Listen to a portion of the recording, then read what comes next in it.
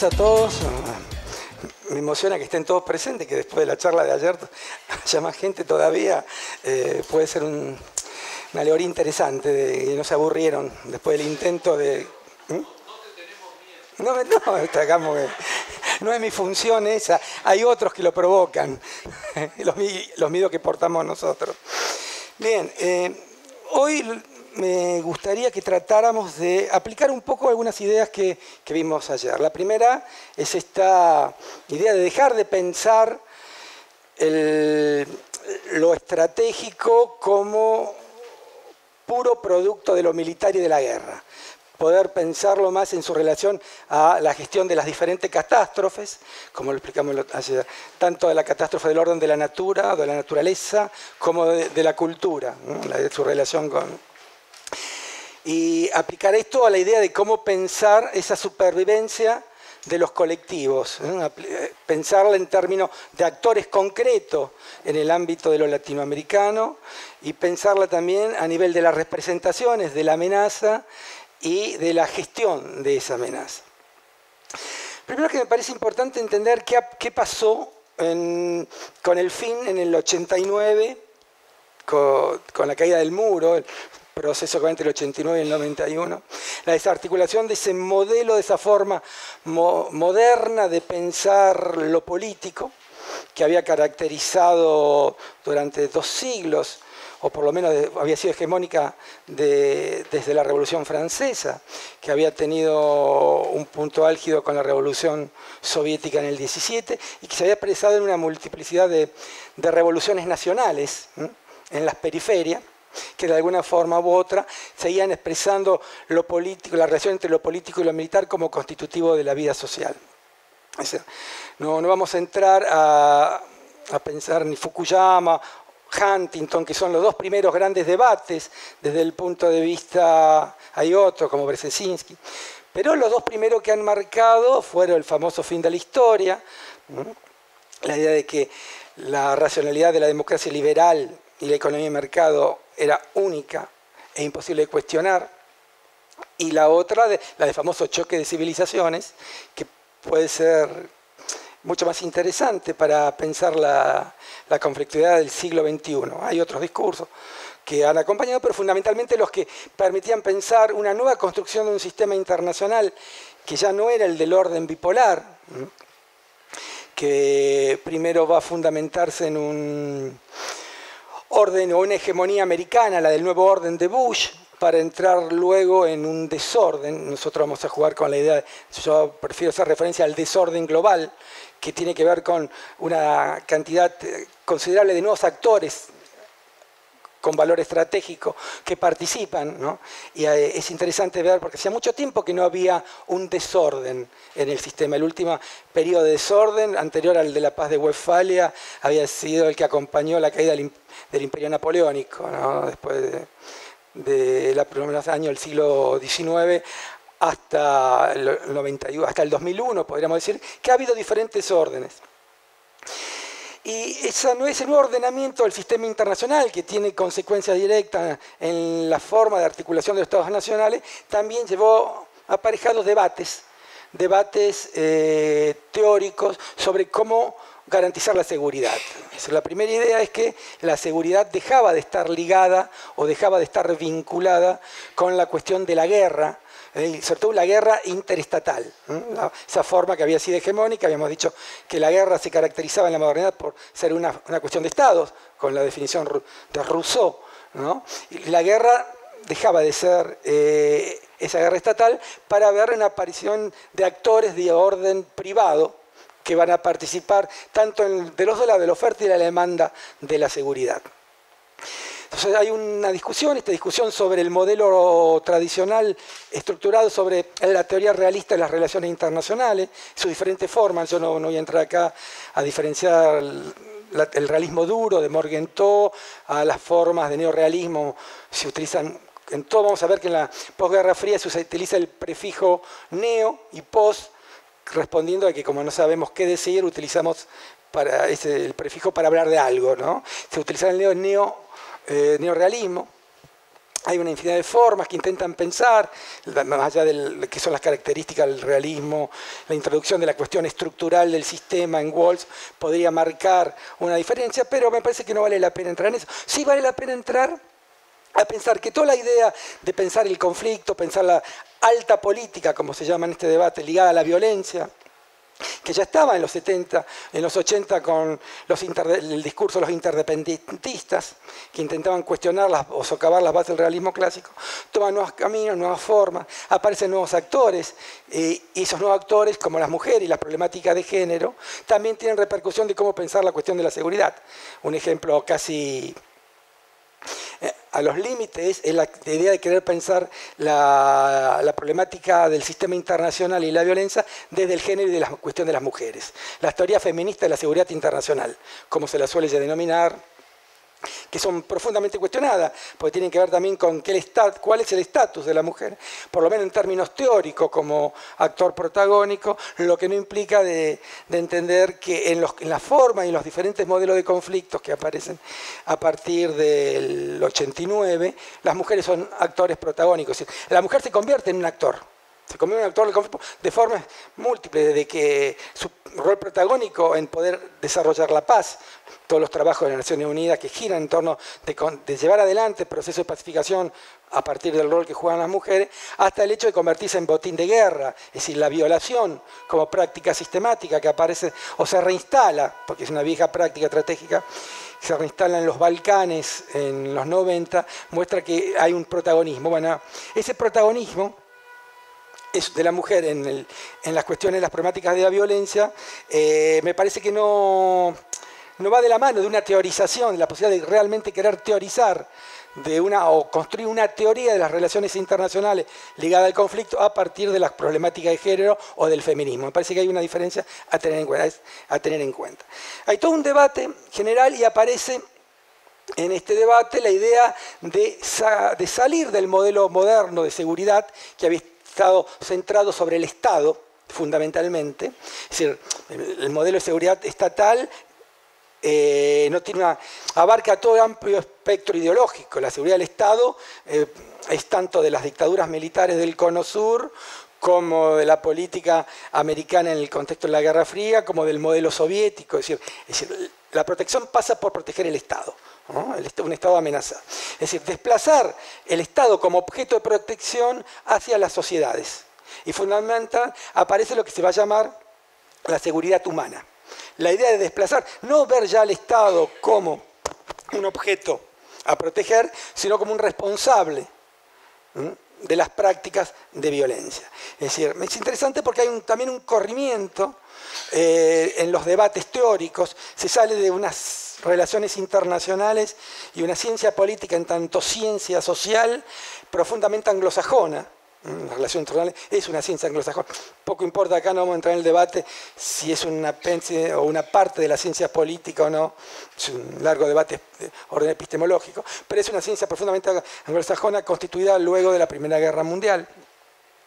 Y este debate se corre de los Estados Unidos, que había hegemonizado justamente por la importancia de la política y de lo militar en su expansión y en constitución en gran potencia hegemónica, los debates militares, y se corre hacia países como Canadá o los países nórdicos, que intentan pregonar y acompañar sus prácticas internacionales ligadas a las, ONG con una nueva fundamentación teórica de cómo concebir el sistema internacional. Bueno, hay toda una serie de debates, una nueva forma de intentar pensarlo, en el cual la cuestión de la amenaza tradicional de tipo estatal y el conflicto interestatal es visto como un arcaísmo un arcaísmo en el sentido etimológico del término de arco, de origen comienzo, origen comienzo de un mundo, es decir, de un mundo teórico, que se había constituido en base a la modernidad de esas teorías de las relaciones internacionales a partir de la figura del Estado. En este contexto, como se desplaza la idea de la, amenaza, de una amenaza estatal, se reintroduce en nueva forma de amenaza y aparece algo que largamente divulgado, banalizado, que todos conocemos que son lo que se conoce como las nuevas amenazas. Antes de entrar a discutir esto de las nuevas amenazas, me parece interesante ver cuál es un poco el rol de, estos debates en América Latina. América Latina ha sido marginal en los debates estratégicos. América Latina jugó un rol subalterno, dado también de su inserción en el sistema internacional subalterna, siempre se caracterizó por estar, salvo algunas participaciones puntuales de Colombia y de Brasil en los conflictos de Corea o la Segunda Guerra Mundial, América Latina no, participa, lo que no implica decir que los conflictos internacionales han tenido consecuencia y repercusión en, en América Latina. Pero no hay una participación activa, esa, la distancia física y la ausencia de intereses directo en los conflictos nacionales ha hecho que América Latina se mantenga al margen, lo que no implica que las potencias hegemónicas hayan participado plenamente de la vida política nacional e internacional de América Latina. Son, es una salvedad que creo que hay que hacer. Y esa participación de América Latina en los debates internacionales eh, se refleja en la producción teórica. Yo particularmente creo que hay, América Latina aporta dos teorías, por llamarla de alguna forma, a la cuestión, al debate internacional estratégico de seguridad del siglo XX. La primera y la más conocida es la teoría del foco, el foquismo guevarista. Me parece como que es tal vez uno de los aportes de América Latina al debate internacional. Y la otra es la teoría del centro-periferia de la CEPAL de Perevich. Me parece que son los dos grandes aportes de América Latina, los que no son aportes menores. Es decir, la poca relevancia de América Latina no implica que los aportes no sean, menores. Si nosotros intentamos ver estos sistemas internacionales que explotan, es decir, lo interesante es que el modelo binario sobre el cual se había construido históricamente las representaciones modernas explota. Eh, Desarrollo, subdesarrollo, primer mundo, tercer mundo, burguesía, proletariado. Busquen los sistemas binarios de interpretación que quieran, explotan para explicar el sistema internacional y las relaciones sociales que se construyen desde el 91. Creo que hay uno solo que todavía resiste, que es la relación centro-periferia. tal vez los centros y las periferias deben ser definidos de otra forma. Las formas en las cuales los diferentes centros tratan sus periferias es diferente. Pero me parece que todavía de los grandes modelos dicotómicos que articularon el pensamiento contemporáneo, me parece que el que se presta todavía más para seguir siendo utilizado. Es un debate que yo les dejo, eh, que me parece podría ser interesante. En ese marco de desarticulación, eh, de, teorías, América Latina también se encuentra con una realidad concreta. Se encuentra que hay una emergencia de amenazas de otro tipo, que poco tienen que ver con lo que habían sido históricamente las dos amenazas centrales del sistema de representación o de percepción de la amenaza, de tanto de las Fuerzas Armadas como de los gobiernos civiles en América Latina. El primero tiene que ver con la desarticulación de la lógica de la vecindad. La idea del el conflicto territorial que había caracterizado, algo habíamos adelantado ayer, cuando le planteábamos esa particularidad de América Latina, muchos conflictos territoriales, muchos conflictos de soberanía, pocas guerras interestatales. Entonces, esa gran particularidad de América Latina me parece que tiene una, o en todo caso, una pista me parecería interesante explotar, tiene que ver con el propio funcionamiento institucional que desarrolló rápidamente América Latina. La, impresión que yo tengo es que el uso permanente del conflicto de soberanía territorial responde más a una lógica interna, interestatal, que a una verdadera dimensión de un conflicto en sí. La idea, por traducirlo, sería utilizo el conflicto externo, esta idea de Tácito, el enemigo externo, el lazo mayor de la, paz interna, el bien mayor de la concordia, para canalizar los conflictos al interior de las sociedades. ¿no? Malvinas es un ejemplo, pues podría ser el caso de Belice. hay una multiplicidad de, ejemplos en toda América Latina, sabiendo en una relación costo-beneficio de parte de los estados latinoamericanos que la posibilidad real de llegar a un conflicto es extremadamente baja. Es decir, lo que trato de, o me parece interesante plantear es que hay una lógica del conflicto y una racionalidad del conflicto por lo cual los estados latinoamericanos recurren a, digamos, a montar eh, la idea de un enemigo externo, una conflictividad con otro, para canalizar conflicto interno y problemas al interior, o de, de diferente escala, ¿no? sabiendo que no vamos a llegar a nada. Es decir, es como que dos chicos se pelean porque saben que hay alguien que lo va a separar, el director de la escuela. Es decir, esto me parece que es muy interesante porque permite montar, subir en la apuesta, la movilización de soldados a la frontera, políticas de armamento, sabiendo que las particularidades del sistema de, latinoamericano, donde las, las similitudes son mayores que las diferencias, donde hay un sistema institucional muy fuerte, no solamente a nivel de la OEA, sino también de las relaciones de, vecindad, impiden que se llegue a un conflicto. Si nosotros tomamos ejemplos que van desde los conflictos entre Perú y Chile, entre Bolivia y Chile, entre Argentina y, Chile. Eh, me parece que es muy interesante ver esto, estas prácticas que se dan casi de forma permanente. Recurrimos al, conflicto territorial para reafirmar un problema frente a un problema de interior de la sociedad, sabiendo que no vamos a llegar a la guerra. Entonces eso sería una explicación interesante para ver, y me parece que más interesante que otras pistas como que es la incidencia del hegemón. Hay otras explicaciones que dicen que, bueno, que el bajo nivel de conflictividad en América Latina tiene que ver con la intervención directa de los Estados Unidos en, la en destrabar los conflictos de vecindad.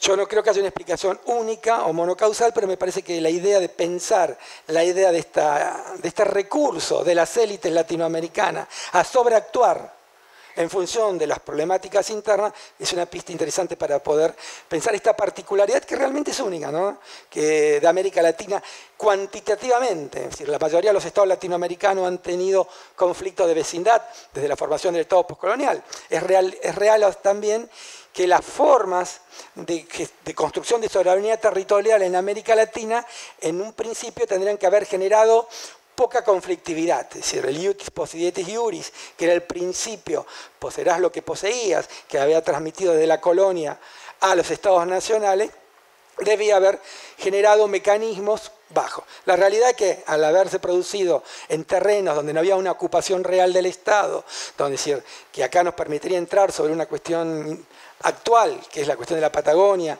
la relación de los mapuches, la especulación sobre si los mapuches, los tehuelches, esta idea, de, esta idea tan descabellada de querer pensar hoy, y decir, bueno, los mapuches son chilenos, frente a la idea de, bueno, que los tehuelches son argentinos, ¿no? que responde a una lógica inexistente tienen que ver con esta idea, es decir, una, cartografía difusa, medios tecnológicos primitivos impidieron zonas pocas pobladas, pocamente pobladas, la misma lógica de, de estructuración del espacio en América Latina con enclaves sobre las costas ligado a las burguesías exportadoras, hacía que el interior del continente aparecía casi como espacio vacío, donde no hay una capacidad de imperium real por parte de los estados nacionales, llevaba a que finalmente esto que aparecía como una lógica fácil de resolución de conflicto tras los estados postcoloniales, se convirtió en una forma permanente de problema. Todos los estados latinoamericanos han tenido conflictos.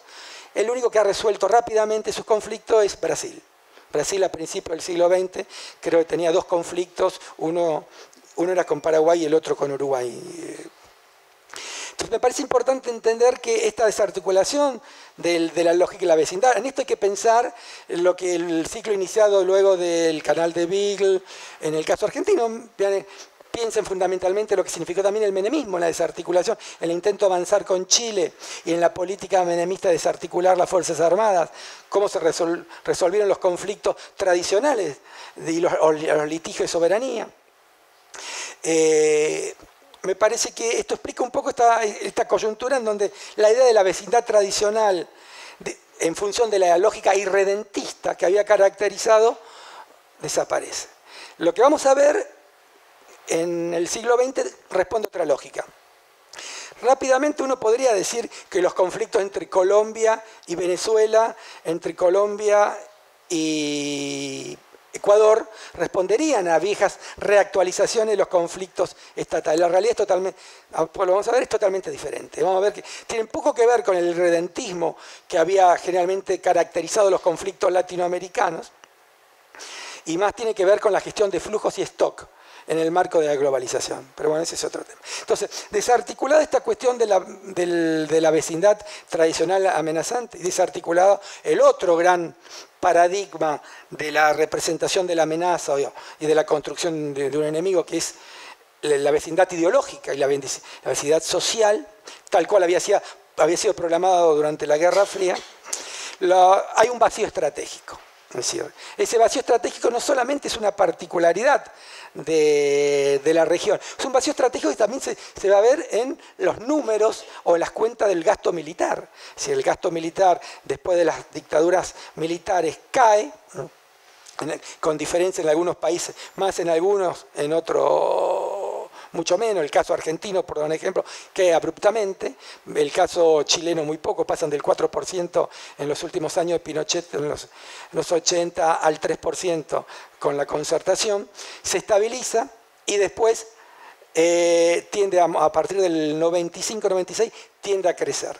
Podemos discutir después por qué, eh, pero es un dato interesante, porque hay un proceso diferente también con respecto al centro. Si tomamos y comparamos los gastos mundiales, y yo no soy muy fanático de lo positivo, no soy muy positivista en cuanto a lo cuantificable, ¿no? medirlo, pero me parece que puede ser una pista que puede ayudar. Vemos que en América Latina en los 90 se gasta más que en el centro, en un centro que había sido totalmente desarticulado por la desaparición de la amenaza soviética, y a partir del 2001 se gasta menos. O sea, hay una política de, de gasto y de rearme en el norte a partir del 2001 y en América Latina se estabiliza. En este marco de modificación, donde se, modifican, se desarticulan industrias nacionales de defensa, cambian los paradigmas de compra, se modifican los proveedores, me parece que este es otro dato interesante, para ver la modificación de las relaciones y de las alianzas, ya que estamos en la cuestión del gasto militar, vemos que se triplicó la presencia de armas extranjeras en América Latina, que implica también los cambios en los clivajes de pertenencia. al fin de la Segunda Guerra Mundial había básicamente seis o siete estados, ahora estamos hablando cerca de 20, que participan del comercio regional y la venta de armas. Hay una pérdida de la importancia de, los proveedores tradicionales, que habían sido primero Europa y después los Estados Unidos, a partir y la aparición de, eh, de nuevos proveedores que van desde Sudáfrica hasta la China, pasando por Rusia que también van a explicarnos, después vamos a ver los nuevos sistemas de alianza y constitución de, relaciones internacionales que se gesta fundamentalmente a partir de la primera década del siglo XXI. Entonces, desarticulado el sistema de la vecindad tradicional, desarticulado el de la vecindad ideológica, hay un vacío en cuanto a la persona de la amenaza que necesita ser llenado. Ese vacío estratégico, esa necesidad de enemigo no es una, particularidad solo de este del extremo occidente, como podríamos definir siguiendo la categoría de Ruquier, América Latina. Eh, es algo que también sucede en Europa, en Europa occidental, en Estados Unidos también, que se resolvió muy rápidamente con el terrorismo islámico y la cuestión después del 2001 de los atentados y el rol que comienza a tener el terrorismo en, la sociedad europea, de Alemania hasta Francia, pasando por, Inglaterra. Es interesante porque vemos que hay una, hay una demanda de, de, enemigos que nos lleva a la pregunta de fondo de lo estratégico, se puede pensar lo estratégico sin, sin pensar una alteridad. Entonces, en este contexto, ese vacío intenta ser llenado con una serie de, debates que se dan en dos planos. el primero tiene que ver con el debate del mundo académico, que algo había mucho referencia. El segundo tiene que ver con una lógica de los funcionarios de, la seguridad que comienzan a, a reunirse frecuentemente a partir, fundamentalmente, del 94, el 95. Ahí comienzan a aparecer lo que se llaman conferencias eh, regionales de seguridad, por un lado, eh, y del otro lado aparecen encuentros de los ministros de defensa que producen una, relación de, conocimiento, que intentan desarticular las viejas rivalidades que habían sido históricas entre los ejércitos de, América Latina. Eh, este encuentro entre las partes empiezan a preguntarse cuál es la centralidad de la amenaza en el contexto general. Y acá aparece un debate estratégico fuertemente determinado por los Estados Unidos. A diferencia de lo que solíamos decir de que los Estados Unidos habían perdido la primacía en la construcción de teoría, por decirlo de alguna forma, con respecto a la aparición de otros espacios, con esta cuestión de la emergencia tanto de Canadá o de los países nórdicos para generar una seguridad hemisférica, una seguridad ciudadana, como algunos la suelen llamar En América Latina el debate está fuertemente atravesado por los Estados Unidos. Y es claro, estamos en el contexto del contexto de Washington, que vos habías preguntado ayer. Hay un contexto, y ese contexto hay una especie de pensamiento hegemónico global que hace que se avance en una aceptación de una definición de la amenaza que está fuertemente arraigada en los patrones de seguridad generados por los Estados Unidos. Es ese contexto. Entonces, y es interesante porque esto va a generar eh, la idea de salir de la de transformar, por decirlo muy rápidamente, las Fuerzas Armadas en fuerzas de seguridad, va a ser algo cuestionado por diferentes partes del espectro político en los diferentes lugares de América Latina. El caso más interesante del cuestionamiento a esta idea, en el caso argentino, son los carapintadas y fundamentalmente el seineldenismo. Seinaldín tiene un texto que es del 91 donde habla y plantea la idea de que el objetivo principal en claramente en los términos conspiracionistas, la teoría del complot tan a gusto del, nacionalismo argentino, son retroalimentadas en un sistema donde aparecen creo que todos los componentes que desde los años 30 fueron parte de esta forma de pensamiento. La sinarquía internacional, el sionismo, Inglaterra, los Estados Unidos, el marxismo internacional, bueno, es decir, combinan, pero justamente la idea es que hay una especie de, plan sistemático de los Estados Unidos para eliminar los ejércitos nacionales latinoamericanos percibidos como un último espacio de resistencia a la expansión de la, globalización. Y en ese marco los ejércitos son desarticulados y transformados en fuerzas de seguridad bajo el modelo de Costa Rica, por, plantearlo. ¿En qué se, ¿De qué se nutre esta, esta teoría del complot? Se nutre de una visión que en documentos como lo de la Rand Corporation, que es interesante ver cómo el sistema, cómo funciona la, permeabilidad del sistema americano de construcción, de, pensamiento. Es decir, tenemos las agencias, que me parece importante también tener en cuenta esto, que las agencias no son, los Estados Unidos no es un bloque. Es muy difícil. Nosotros tenemos una especie de visión reduccionista, de pensar como que hay una opción y que en realidad es que hay un objetivo y hablar de los Estados Unidos en sus políticas. En realidad al interior hay, hay clivajes, hay diferencias, hay oposiciones entre actores políticos muy fuertes. Los think los grupos de reflexión, del cual en términos de seguridad la RAND Corporation es el más conocido y tal vez el más importante, las diferentes agencias, la DEA, el, FBI, las diferentes eh, ramas de las Fuerzas Armadas, es decir, los Marines, la, Fuerza Aérea, la Navy. Es decir, me parece que también interesante ver cómo se articulan los diferentes sectores en las propuestas de, generación de debate. Un debate que atraviesa toda la seguridad todas las políticas de seguridad de Estados Unidos y tiene repercusiones directas en el continente latinoamericano. Entonces, lo que se va a plantear fundamentalmente en este debate es que se necesitan fuerzas armadas destinadas a controlar lo que es el, primer, problema principal de América Latina, que es, son las organizaciones criminales. La droga, fundamentalmente. Es plena expansión de la visión, eh, digamos, prohibicionista. La visión prohibicionista de droga, el viejo debate, la idea que las drogas son un problema de seguridad y no son un problema de salud. Y en este marco de que las drogas son un problema de seguridad, la respuesta tiene que ser una respuesta militar ya sabiendo que en el caso de Estados Unidos los militares no participan de las políticas de seguridad ligadas a la, temática de droga. Esto tiene que ver con una cuestión también de poner el acento en la demanda.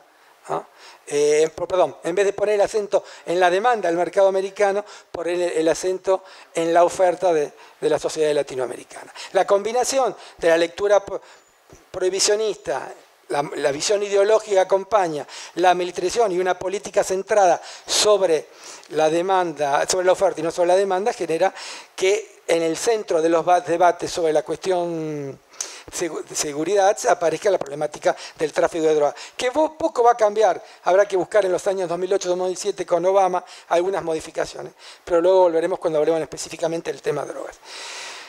El problema de fondo es la criminalidad organizada. Es decir, por un lado aparece la droga como exponente máximo de una, de, una criminalidad organizada que aparece Y en este marco no solamente se empieza a generar los que serían los fundamentos de lo que se va a llamar la seguridad hemisférica. La seguridad hemisférica es una serie de, discursos estructurados sobre una representación de, de, la amenaza, estructurada a partir de esta idea de que hay una amenaza de orden privado, por un lado, ligado a la criminalidad, pero existe toda una serie de fenómenos amenazantes que no son tradicionales y frente a los cuales los estados-nación deben eh, actuar. Es decir, esto tiene una particularidad, que es lo que vamos a llamar la securización de lo social. Toda una serie de fenómenos del orden de lo social son pensados en términos securitarios. Y es muy interesante porque detrás de esta lógica de la securización de lo social aparecen elementos que son propios o que han estado presentes en América Latina durante la época de la Guerra Fría. Entonces, ¿qué aparece detrás de esta idea? Fundamentalmente la idea de la conflictividad social, la idea de la pobreza, la idea de la necesidad del desarrollo, un viejo debate que ya estaba presente en América Latina, tanto en, en Brasil, a partir del golpe militar como de Argentina a partir de Onganía, hay toda una idea de que se necesita la mejor alternativa a la cuestión de la insurrección o la subversión es el desarrollo, la idea, por decirlo rápidamente, es la Alianza para el Progreso, es leer la Alianza para el Progreso en claves estratégicas, que fueron fuertemente teorizados en López Aufranc, en el caso de Argentina es eh, uno de, esos, de los voceros que teoría escribe sobre, sobre el tema, y Golbeiro do Couto en la geopolítica brasileña. Hay todo un trabajo de reflexión sobre esta idea de que se necesita el desarrollo para garantizar la seguridad. Esto se vuelve a reelaborar en el contexto de las nuevas amenazas y en este marco esta idea de la seguridad, de la segurización de lo social, se va a pensar que los disfuncionamientos de los cuales yo le había hablado como una problemática central de lo, estratégico, como las cuestiones de la naturaleza o el accidente tecnológico, participa de las misiones de los militares. En este marco, la, la circulación de residuos tóxicos, el paludismo, o la criminalidad organizada son equiparados. Las respuestas son respuestas de tipo militares. Todo esto se fundamenta en trabajos que van a hacer permanentemente referencia a la necesidad de que los ejércitos latinoamericanos se comprometan en funciones de, de desarrollo y lleven a cabo políticas sociales. Y no solamente que los ejércitos latinoamericanos, sino que las prácticas políticas eh, de los ejércitos de Estados Unidos tengan que ver con esta lógica.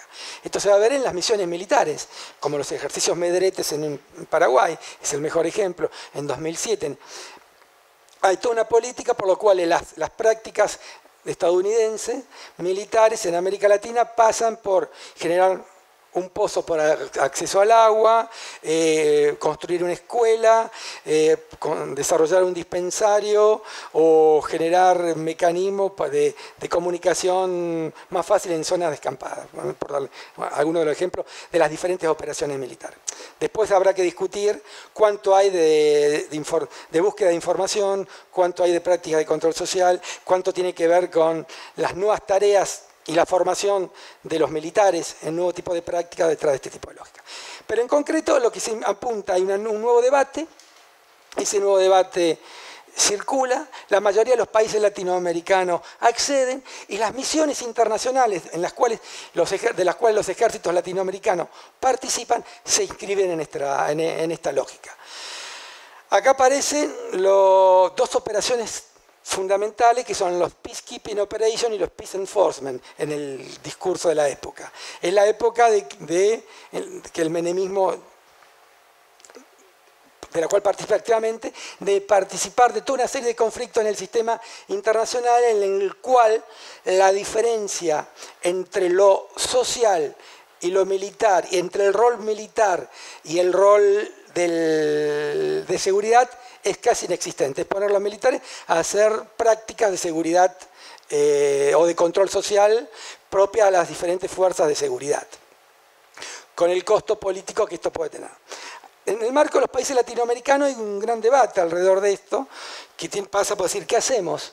Es decir, de un lado están las opciones tipo, eh, reproduzcamos el modelo que se generó con la democratización de los ejércitos, del ejército español luego de la desaparición del franquismo. La idea de hacer participar de la OTAN para generar contacto con los ejércitos de tradición democrática y limpiar de prácticas dictatoriales las Fuerzas Armadas.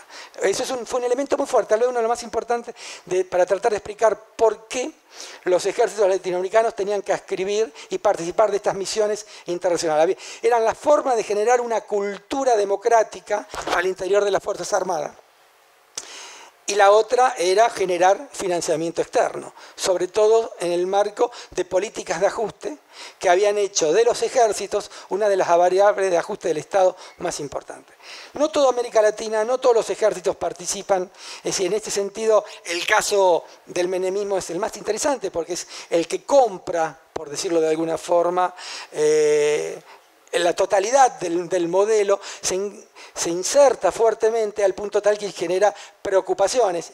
De la mano de esto está lo que hablamos el otro ayer, habíamos planteado, la cuestión de la alianza Strautan del 97 y como retribución. Entonces me parece que ahí Brasil y Chile tienen dos mecanismos diferentes en su momento.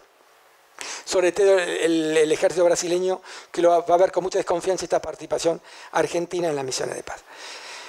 Todo este debate sigue en el marco de una institución que había sido la que había llevado adelante eh, las políticas de seguridad desde el 47, que es la Organización de los Estados Americanos. Hay una intención de que los debates sobre la seguridad sigan pasando, lo que pasa es que estamos en el marco de una lógica de una institución profundamente arraigada en un sistema eh, administrado por los Estados Unidos, que va a llevar a cuestionamiento sobre esta práctica, pero en los 90 no genera roces porque estamos en el marco de lo que podríamos llamar un retorno del panamericanismo. Los Estados Unidos desarrollan su política de retorno sobre el, sobre el continente latinoamericano, generan un mecanismo, hay una reelaboración de, de las políticas y se amplifica la relación que tiene la OEA con las cuestiones de seguridad, fundamentalmente a partir de un órgano que es la Junta Interamericana de Defensa, como, elemento central. Esto va a ser hegemónico, inclusive va a durar los primeros años del siglo XXI. Hasta el 2013 hay como un acuerdo en, sostener esta idea de las nuevas amenazas, esta representación transnacional de la seguridad y este nuevo rol de los ejércitos de cooperación. Lo que es interesante es que esta nueva lógica, esta sintonía que se genera con el consenso de Washington sobre una similitud de proyectos políticos nacionales basado en esta idea de la abertura, las privatizaciones, no va de la mano de un proyecto de integración de las fuerzas de seguridad regional. Es como que en este marco las, políticas de, de integración atrasan con respecto. Hay como una reticencia muy marcada y muy fuerte todavía de los ejércitos nacionales de entrar en una lógica regional en el marco de la OEA de la mano de los Estados Unidos, independientemente que acompañen las representaciones e inclusive las prácticas de los Estados Unidos, como ha sido el hecho, lo hemos visto tanto en la Primera como en la Segunda Guerra del Golfo. ¿Preguntas hasta acá?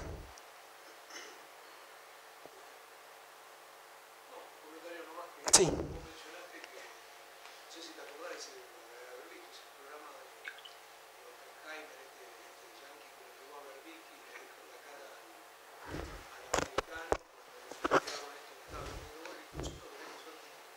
¿Nosotros? Nosotros queremos ser como ustedes, queremos tener ejércitos involucrados en cuestiones de seguridad interna, tipo el ejército de América Latina. Y si ustedes no lo tienen, imponen el uso de los colores,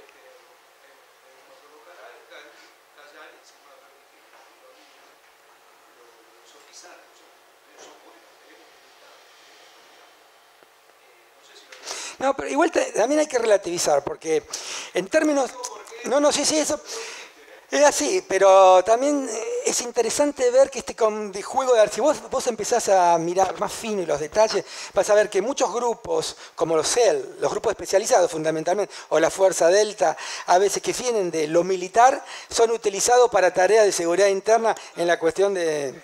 Entonces, las barreras son porosas. entonces, una vez que entendemos cómo se piensa en términos conceptuales este modelo, cómo se genera estas prácticas institucionalmente en América Latina y cómo repercute, aparece una, habíamos dicho que eh, hay unos nuevos actores, que la particularidad de estos actores que emergen en este contexto fundamentalmente tienen que ver con lo privado. Y en esto América Latina nos va a llevar a pensar, o por lo menos como yo lo quiero plantear, es que la región se instituye como una especie de gran laboratorio de prácticas estratégicas la segunda idea que les quiero presentar. Hay en el debate estratégico internacional, regido fundamentalmente por, los, por las problemáticas del centro, una tendencia a menospreciar América Latina, diciendo la relevancia de América Latina en términos de seguridad estratégico es fuerte, es inexistente. América Latina no existe en términos de seguridad consecuencia de lo que habíamos visto, de que participaba de forma marginal en los debates, consecuencia de participaba marginalmente en los conflictos internacionales, América Latina, hay como una tendencia inercial a decir, en el contexto de la posguerra fría, América Latina es irrelevante. A mí me parecería interesante subvertir esta idea, cambiarla y decir que no, que América Latina no es irrelevante. Si tomamos los indicadores tradicionales y clásicos y vemos cuáles son los, ejes de conflictividad que aparecen en el contexto internacional y sobre todo para la potencia hegemónica, indudablemente tendríamos que decir sí. Si la preocupación de Estados Unidos fundamentalmente tiene que ver en los 90 con la lucha o la posibilidad de un escenario doble, es decir, todos los documentos militares de fines de los 90 hasta principios del 21 giraban en torno a la cuestión de un conflicto con dos rivales. Fundamentalmente está pensando eh, en Rusia y en Corea del Norte, después está pensando en Corea del Norte y la posibilidad que sea China, fundamentalmente está eh, el ascenso de China, que tiene como ciclos, ¿no? Hay un primer ciclo a fines de los 90 y hay un segundo ciclo de una alianza para el Pacífico que acompaña la política de alianza para el Pacífico de Obama a partir del 2007-2008, fue dicho por, por, por Clinton, eh, por Clinton la mujer, eh, escrito en un artículo en Foreign Affairs muy interesante, plantea que realmente la preocupación, el objetivo es eh, la región de Asia-Pacífico y que la rivalidad hegemónica es con China. Lo que se vislumbra en el vacío de la disputa hegemónica es justamente la aparición de China como rival. Ahora, en el medio de todo esto aparece el integrismo islámico. Lo que, por decirlo de una forma rápida, los americanos siempre han concebido o han intentado pensar que el conflicto con el mundo islámico, más allá que había sido teorizado por, por el choque de silición de Huntington, es un conflicto pasajero, que una vez que se resuelve el conflicto con el Islam, la rivalidad de fondo por la hegemonía mundial tiene que ver con China porque hay un, un eje geopolítico que se corre hacia el Pacífico. El problema es que la praxis política no les permitió resolver el problema de fondo, porque no lograron salir de los diferentes conflictos en los cuales se empantanaron. Entonces, lo que van a decir fundamentalmente, inclusive claramente en la administración Obama, es que no nos podemos abocar a nuestro conflicto de base, a la cuestión central de la China, si no hemos resuelto todavía los conflictos que tenemos en Medio Oriente. Si nosotros pensamos en lógica, América Latina es irrelevante. Si nosotros comenzamos a pensar en términos de una cultura política anglosajona fuertemente marcada por el empirismo, vamos a ver que las cosas tienden a relativizarse.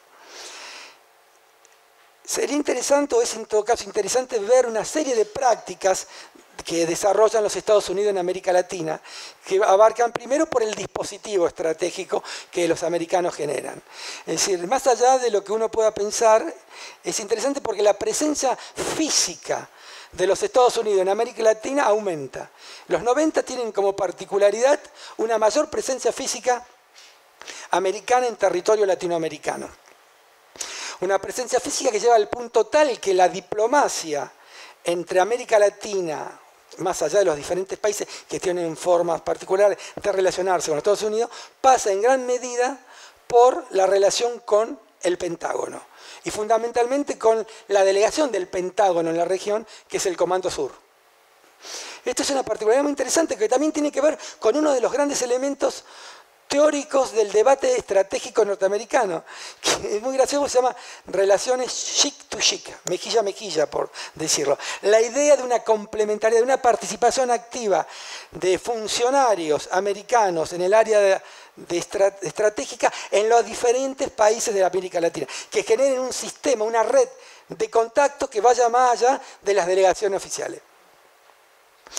El caso más interesante de participación, de ver este sistema de redes, es el caso de Honduras, el golpe de Estado en, Honduras. Ahí vamos a ver cómo las bases militares americanas participan por arriba de la soberanía estatal, cómo los sistemas, las redes que se generan en ese contexto de contacto entre los militares hondureños y los Estados Unidos van más allá de las relaciones institucionales.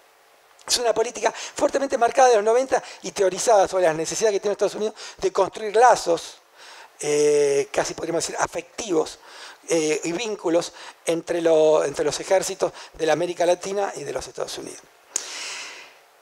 Es interesante, entonces, la primera medida es preguntarse por qué los Estados Unidos necesitan una presencia importante en un contexto en que no hay ningún cuestionamiento, ningún Estado cuestionador del status quo en la región en un contexto donde América Latina sigue siendo irrelevante y las problemáticas de seguridad pasan por otro lugar.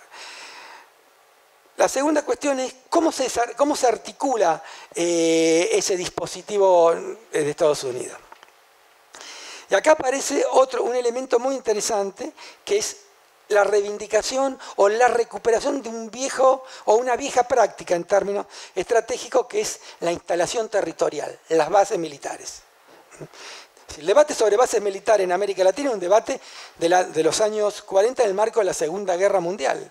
la idea de la posibilidad de, construir bases en Uruguay, rechazadas que tenían justamente como objetivo Argentina, es decir, eh, en un momento hay una relación conflictual fuerte de Argentina por su neutralidad, es decir, al punto tal que tanto la, cuarta flota, que después será reactivada, como las bases militares tenían que ver eh, mucho con el rol que jugaba Argentina en ese momento en el sistema, en el cono sur, fundamentalmente en el Atlántico Sur. Bueno, pero luego de las bases, por decirlo simplemente, ni en los años de la Guerra Fría en América del Sur casi no hay, no hay bases militares, no hay una presencia directa americana. En un contexto donde se suponía que había un cuestionamiento, revolución cubana mediante, expansión de ideología subversiva. no hay. Eh, hay en América Central, pero no en América del Sur. Tampoco está activada en ese contexto de rivalidad hegemónica importante, eh, no está activada la cuarta flota. Es verdad también que podríamos argumentar que los americanos delegaban, es decir, el conflicto central en la teoría de la doctrina nacional veía o vislumbraba la relación en un conflicto abierto de tipo tradicional entre el este y el oeste en, el hemisferio norte, fundamentalmente sobre todo el europeo, y, dejaban en la periferia a los ejércitos periféricos de los países aliados próximos regular los conflictos. Pero lo importante es ver que en pleno contexto de una radicalización como fue en los años 60 y 70, no existe una presencia activa directa. Sí existen formas y mecanismos de presencia indirecta, los cuales las delegaciones militares en los ministerios de defensa es el mecanismo más clásico. Habría que, pero no, hay una, no, está la base, como va a ser la base de Manta en Ecuador eh, en los 90, que es interesante ver qué implica esta, esta, cuestión, esta nueva relación al territorio. ¿Por qué me parece que es importante ver esta cuestión de, del territorio? Porque la hipótesis sería algo así como, América Latina es un gran laboratorio, un lugar, espacio donde los Estados Unidos experimentan prácticas ligadas a la cuestión de seguridad que luego van a exportar a otras regiones. Y el ejemplo o el caso, por decirlo, el caso test, el caso paradigmático de esta, de esta práctica empírica es lo que vamos a llamar el Plan Colombia en Estados Unidos, a partir del 99. Interesante plantear cómo el Plan Colombia tiene toda una serie de elementos que luego van a aparecer en otras geografías, por, en Afganistán, en Siria, en África subsahariana. El primero que me parece interesante es justamente que tiene que ver con los actores que participan en los conflictos, es la cuestión del actor no estatal. Las compañías prestadoras de servicios de seguridad. que es un nuevo actor de dimensión. No es que el, el mercenario o el mercenariado como práctica estratégica haya desaparecido, al contrario, hay tradiciones fuertes en la periferia, el sudeste asiático, pero fundamentalmente eh, Sudáfrica, en la antigua Rhodesia, se caracterizaba por ese tipo de prácticas. Pero eh, quedaba contenido en una lógica de conflicto dada por la estatalidad, que esa, esa idea de identidad que la guerra es un asunto de estados, lo que tiene como particularidad el contexto de la posguerra fría es que esta privatización de la seguridad aparece en el uso también de las cuestiones militares. Y sobre todo hay una, empresa que es paradigmática que actúa en Colombia, que es la DIN Corporation. Interesante también ver en el marco de estas lógicas las idas y vueltas, la circulación, la permeabilidad del Estado con respecto a estas compañías. Si uno ve quiénes trabajan, quiénes son los contratistas, que es el nombre con lo cual se los conoce. Vemos de dónde viene, quiénes son los, no solo quiénes son los contratistas, los oficiales de la Navy que participan, sino quiénes dirigen estas empresas vamos a dar cuenta que forman parte o están relacionados, por un lado, con la Fuerza de Seguridad Americana y por otro lado, con el complejo industrial militar estadounidense. Entonces vemos, primer actor importante de participación activa es la relación entre el ejército, entre las fuerzas de seguridad oficiales y las compañías privadas prestadoras de servicios de seguridad. El segundo ejemplo que me parece interesante ver eh, es la conceptualización de la territorialidad, la idea del territorio. Es decir, los Estados Unidos tienen, desarrollan para América Latina en su planificación un sistema de percepción del espacio que no responde a la lógica del Estado-Nación tradicional. Es decir, ellos conciben áreas, lo que van a llamar el área andino-amazónica, como una forma de pensarlo en el cual la geografía de los estados bolivarianos, por llamarlo de una forma, tanto Colombia, Ecuador y Venezuela, y Brasil, del otro lado se desarticula. Hay una forma de conceptualizar en espacio transnacional, en términos tácticos y operacionales por las fuerzas de seguridad militares, que no responde a la geografía tradicional del Estado-Nación. Esta lógica también va, va a aparecer en el, en el marco de los de, de otras geografías, sobre todo en el caso del África subsahariana. El otro elemento que me parece interesante es la utilización de las nuevas tecnologías. Y acá esto me parece que nos lleva a un punto que es central en los debates sobre la cuestión de la seguridad en posguerra fría, que es lo que van a llamar la, revolución en los asuntos militares. ¿Se acuerdan que nosotros ayer habíamos, cuando empezamos hablando, habíamos mostrado lo que yo llamaba la escuela española, los cuadros de la rendición de Breda, las lanzas. ¿Cómo concebirían ustedes, si, fueran pintores, un cuadro que representara los conflictos contemporáneos? ¿Qué, tiene, qué, ¿Qué aparece de esos tres cuadros que mostraban rupturas y revoluciones tecnológicas, por un lado, y conceptuales doctrinarias, por el otro, en la forma de hacer la guerra? ¿Cómo lo pensarían hoy? ¿Cómo verían ustedes harían un cuadro. Respondería que a la primera lógica de la guerra como una actividad lúdica de aristócratas con un mercenariado atrás, en parte sí, en parte no.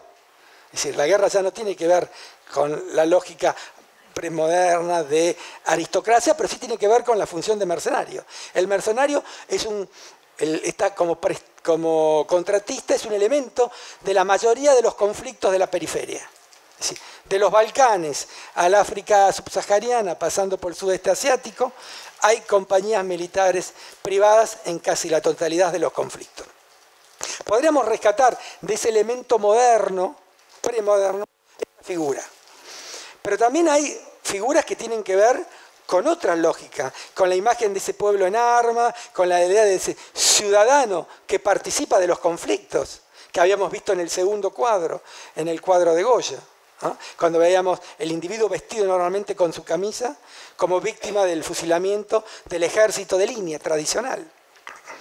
Y también podríamos apelar a otro, podríamos apelar a la cuestión tecnológica que se nos da en el Garnica, esa idea representada por la, por la bombita, la tecnología, el control aéreo. Es decir, lo interesante es ver que si tuviéramos que hacer, un, o por lo menos si yo tuviera que hacer pintar un cuadro explicando las revoluciones tecnológicas y doctrinarias de lo militar tendría que sumar los tres elementos. Y nos va a llevar a otra explicación sobre cual, que es la relación entre lo que podríamos llamar lo premoderno y lo posmoderno para pensar.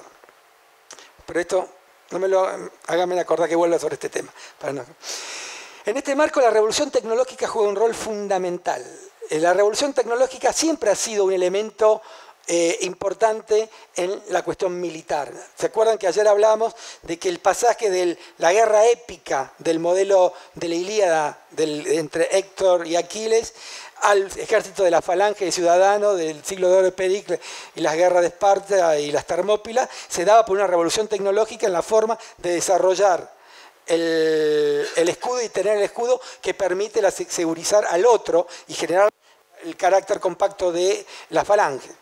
Es decir, el desarrollo naval, los radares, particularmente siempre la tecnología ha jugado un rol importante en el desarrollo de lo militar. Y las, lo militar que nace, el uso militar desde el sonar y el radar son lo más clásico, la aviación, vuelve al campo civil posteriormente. Lo que tiene interesante es que la revolución científica tecnológica como elemento constitutivo de la modernidad, de la globalización, tiene que ver con esta cuestión de lo militar. Es decir, fundamentalmente hay dos. La primera tiene que ver con los sistemas comunicaciones. Es decir, la comunicación en tiempo real, el GPS, la independencia. Y la segunda tiene que ver con la modificación en las formas de armamento, que llevan también al desarrollo de una nueva forma de armamento, que ya no tiene que ver con lo militar, es decir, lo que llaman en el discurso militar los armamentos no letales. La idea de que se necesitan desarrollar nuevas formas de tecnología que tengan que ver, con un lado, con generar la guerra cero muerto, la ficción o la utopía eh, de cero muerto. Para los Estados Unidos, por supuesto. Eh, aclaremos, decir, no, creo que es una banalidad, pero no hace falta decir. Es decir, multiplicar las capacidades operacionales del soldado. El ejemplo más interesante son lo que se llaman los exoesqueletos no sé si eh, la idea de transformar a partir de, un elemento tecnológico, Robocop. Robocop eh, es decir, que la ciencia ficción, es muy interesante ver cómo funciona este mundo eh, de la tecnología. Solo doy un ejemplo empírico. La Rand Corporation, que es la que funda, uno de los Sinsan muy más desarrollado, tiene un departamento de estudios sobre las posibilidades de un, de un futuro militar la idea es super soldado, pero decir, hay intentos, hay agencias que contratan eh, gente que escribe ciencia ficción para pensar escenarios ideales de futuro de conflictibilidad. Es decir, lo más conocido de esto es la guerra de la tercera ola. Es decir, Alvin Toffler, no sé si ustedes han escuchado, una pareja de futurólogos, eh, por llamarlo de alguna forma, que teorizan que hay, tres revoluciones, porque lo que pasa en el campo militar también tiene que ver con lo que pasa en otros campos de la televisión. La idea de las tres revoluciones, la revolución neolítica, la revolución industrial y la revolución científico-tecnológica. Y acompaña cada revolución tecnológica en el campo de la vida civil va siendo acompañada por una revolución en el campo de lo militar securitario. Es decir, este, lo que implica también esta idea de la diferenciación entre las fronteras sobre las cuales opera la conceptualización de la guerra. Si la idea de que las armas sean armas no letales, la guerra cero muerto, la idea de que hay que inmovilizar ultrasonidos, por dar un ejemplo, eh, elementos que van a afectar los sistemas tecnológicos que van a impedir que los aviones vuelen, que no solamente una particularidad norteamericana. En la cuestión del conflicto entre Ucrania y la Unión Soviética, y perdón, la Rusia, Rusia operó de esa forma camiones hidrantes de nuevo tipo, y toda una serie de, elementos nuevos que tienen mucho que ver con el control social más que con la lógica tradicional de la guerra, como había sido vista durante la modernidad, que aparece. Esta idea de la revolución tecnológica es eh, importante porque ella va acompañada de dos elementos de la globalización. De la globalización en tanto proceso, el primero, la idea de la multiplicación de los intercambios, la velocidad de circulación, la desarticulación del espacio frontero, pero también de la globalización como ideología. Me parece que aquí hay que tener en cuenta que la globalización tiene dos facetas. ¿Qué es la, si la idea de la globalización, la ideología de la globalización es, porque Está claro que hay un proceso de transformación de las relaciones de producción, que lo podemos llamar globalización, que no es, a lo mejor no, sé si será el nombre apropiado, porque la globalización es un viejo proceso, es decir, eh, los clásicos de la economía ya, hablaban de la globalización. Es más, hoy en día se debate que el proceso de globalización nace en América Latina. El los cuatro rincones del mundo del imperio de Felipe II es un imperio globalizado. La idea famosa esta de que eh, el Quijote se escribe en España, se imprime en México y se con al mismo tiempo en Manila. Hay algo de eso. Eh, la teoría de Grusinski sobre la circulación que plantea en América Latina esa cuestión tiene que ver con... No sé si era lo más pertinente, pero sí dejarlo para entender este proceso de, cuestionamiento parcial, guardo la idea de parcial de la frontera, circulación de materias primas y capital financiero, no es lo mismo para los seres humanos, después podemos entrar en la cuestión de los flujos y las migraciones. Por otro lado, esto va acompañado de una ideología, de esta ideología de progreso permanente, la, ideología de desarticulación del espacio estatal, de la primacía de la sociedad civil frente al Estado y fundamentalmente el cuestionamiento del Estado por dos planos. Por arriba, por lo supra y por lo infra. La idea de que el Estado-Nación, y esto es muy interesante porque aparece inclusive teorizado, aparece como un espacio de rivalidad para una, determinada forma de imposición de la hegemonía estadounidense. Es decir, por decirlo de una forma simple, podríamos decir, el Estado Nacional jode como espacio.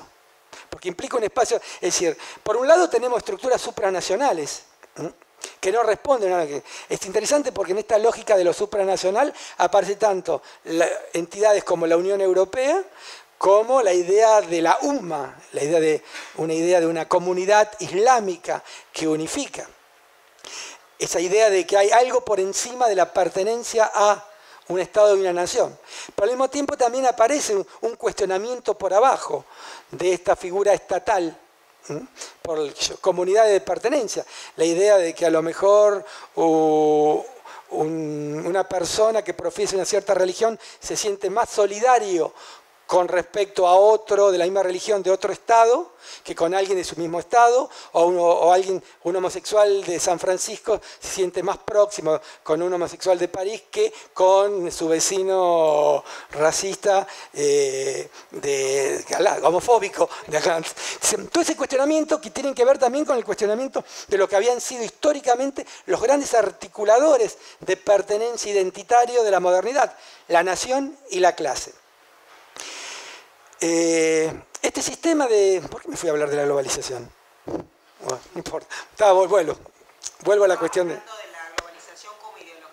Estaba hablando de la cuestión de avanzar. Es decir, la idea central es que todo el dispositivo militar ya no tiene que ver con la protección del territorio en sí, como había sido la lógica, sino que tiene que ver con una protección de lo que vamos a llamar la circulación de flujos y stock lo que me interesaría plantearles es que las nuevas funciones que se desprenden de estos ejércitos ya no tienen que ver con la vieja lógica del ejército nacional, que tenía que ver con la protección de un territorio determinado.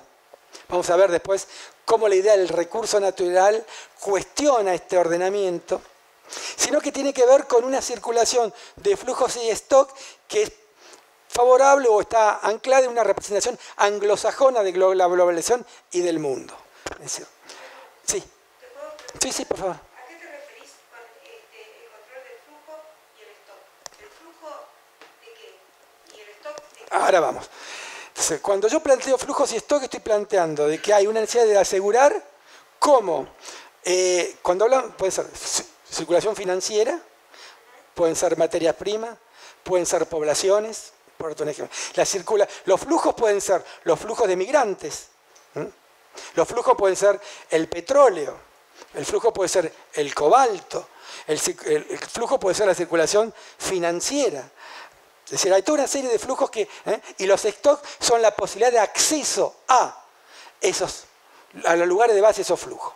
Entonces me parece interesante ver que la forma de concebir lo militar ya no tiene que ver con la lógica de la ideología, sino tiene que ver con esta concepción de una, global, de una representación anglosajona del mundo, en el cual la función de la violencia tiene que ver con administrar esos flujos. Y que en esa lógica América Latina tiene un rol muy importante, como espacio de gestación de esta idea de que lo militar puede participar a controlar, siempre por eso utilizo el término gestión. Claro, me parece que el caso paradigmático de América Latina es la cuestión de la droga, tanto de la cocaína como de la marihuana, ¿no? Eh, cómo el ejército, las fuerzas armadas participan de la gestión de ese flujo del sur hacia el norte. Pero creo que no termina en eso. Creo que ahora cuando la cuestión fundamental de pensar en América Latina también va a tener que ver con la importancia de reserva de los recursos naturales que es el otro punto. Entonces me parece importante ver que esta ideología de la globalización genera un mecanismo, un modelo de protección, del cual participan fuertemente los ejércitos de los países centrales.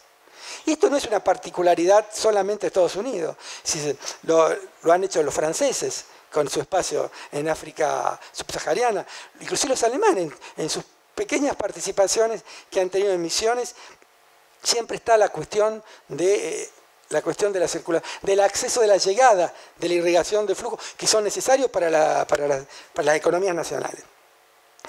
Esto nos saca de un modelo clásico de representación de la seguridad de lo militar y también lleva a la cooptación, porque de esta gestión de flujos y stock participan tanto los ejércitos nacionales como las compañías contratistas privadas. El mejor ejemplo es Irak. Pero también participan los ejércitos de la periferia, que, se, que son cooptados para participar vía las operaciones de paz, por dar un, ejemplo, o las alianzas tácticas con la participación de Estados Unidos. Este es otro elemento que me parecía importante de, participación, pero todo esto nos llevaba a otra idea, que es que todo este modelo clásico, habíamos dicho que había, con la globalización habían explotado los sistemas binarios, de interpretación, pero también explotaron los sistemas binarios de interpretación de, de las lógicas de conflicto. Es decir, acá ya no hablamos más de civiles y militares, no hablamos más de Estado y mercado, no hablamos más de interno y de externo. Uno de los cuestionamientos importantes a esta lógica es justamente que este modelo de seguridad cuestiona esta idea de que de la relación entre la defensa estatal y la defensa interna, que va a ser muy interesante porque nos lleva a poner en juego uno de los elementos de base de la construcción de la democracia, en el caso argentino, que es la separación neta y tajante entre la seguridad interior y la defensa exterior que después habrá que discutir si por el carácter de las nuevas formas de amenaza, eh, esa, división claramente eh, funcional y necesaria en términos políticos para validar y consolidar la democracia argentina, tiene en, términos de seguridad, tiene una aplicación concreta. Yo planteaba que el Plan Colombia es interesante porque justamente el Plan Colombia va acompañado de una recuperación de la territorialidad es el momento de expansión de las bases, de la instalación de bases militares. Y justamente estas bases militares tienen poco que ver con la vieja lógica de la base militar tal cual uno la concibe después de la Segunda Guerra Mundial. Tiene poco que ver con las bases militares en Alemania o con la base militar en Okinawa, grandes espacios con población. Acá estamos hablando de pequeños enclaves muy bien ubicados, eh, altamente ligados a las nuevas tecnologías, fundamentalmente los radares. ¿Se acuerdan que nosotros habíamos planteado de que una de las particularidades de la modernidad es el control aéreo, el duetismo, la idea de controlar el espacio? Hay toda una modificación del medio ambiente en esta concepción que va de la mano de la tecnología y que en los 90 todavía está sobre esta idea de controlar el espacio y la cuestión de los radares, la radarización. Fundamentalmente está pensado eh, en el marco de, la lucha antidroga. Después van a ver que el ingenio para poder evadir, salir de esta lógica de control, genera otros mecanismos de circulación como son los ríos, inclusive el mar, con la famosa construcción de los submarinos por parte de los, de los narcos. Pero en su momento, en los 90, la recuperación, la impresión, tiene que ver con una idea de, control territorial. Y esto que es muy de los fines de los 90, que va ligado a la cuestión del desarrollo del Plan Colombia, se va a retroalimentar y va a ser aplicado en otro contexto. Va a ser interesante. Cuando América Latina genera el Consejo de Defensa de Seguridad Latinoamericano en 2008, la reacción inmediata de los Estados Unidos fue, por un lado, la reactivación de la cuarta flota y por otro lado, el, intento de un pacto con Uribe para la construcción de siete bases militares en Colombia. Interesante porque también las bases palanqueros, como un solo ejemplo, permite una cobertura aérea que no solo tiene que ver con, el continente latinoamericano, sino con la posibilidad de proyección de fuerzas, que este es el, otro elemento central de la instalación de base, que es la proyección de fuerza en África por la cuestión de la distancia. Hay que entender que no solo cuando estamos hablando del caso, y sobre todo para los argentinos nos, nos afecta, cuando estamos hablando de la cuestión de la presencia territorial sobre el territorio norteamericano, no tenemos que olvidarnos que la principal base de la OTAN se encuentra en Malvinas y la capacidad que tiene. Es decir, en un contexto donde la proyección sobre la Antártida es un elemento fundamental que ahora veremos cuando intentemos hablar un poco sobre los derechos, sobre la cuestión de los, recursos naturales. ¿Tenés un poquito de agua? Ahí tenés. Ah, gracias. Pues ¿Preguntas? ¿Dudas? ¿Algo que les parece sobre que le interese que podemos revenir?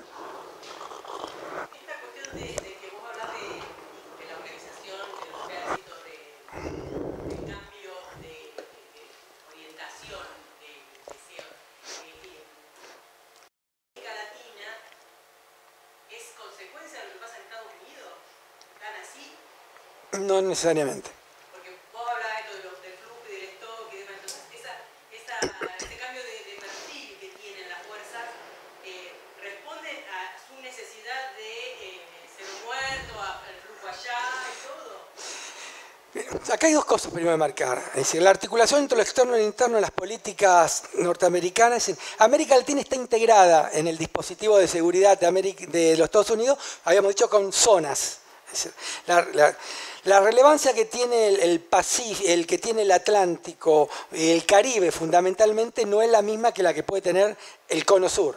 Si esto es algo viejísimo, Spigman y los grandes teóricos de, la geopolítica norteamericana estaban preocupados por un lado por una articulación de un posible eje argentino-brasileño, por la capacidad de construcción de una potencia hegemónica en el sur del continente, estamos hablando de los años 40, en contexto, que disputara la hegemonía. Argentina, olvídate. Eh, con Brasil es diferente la cuestión, ahora vamos a plantearlo.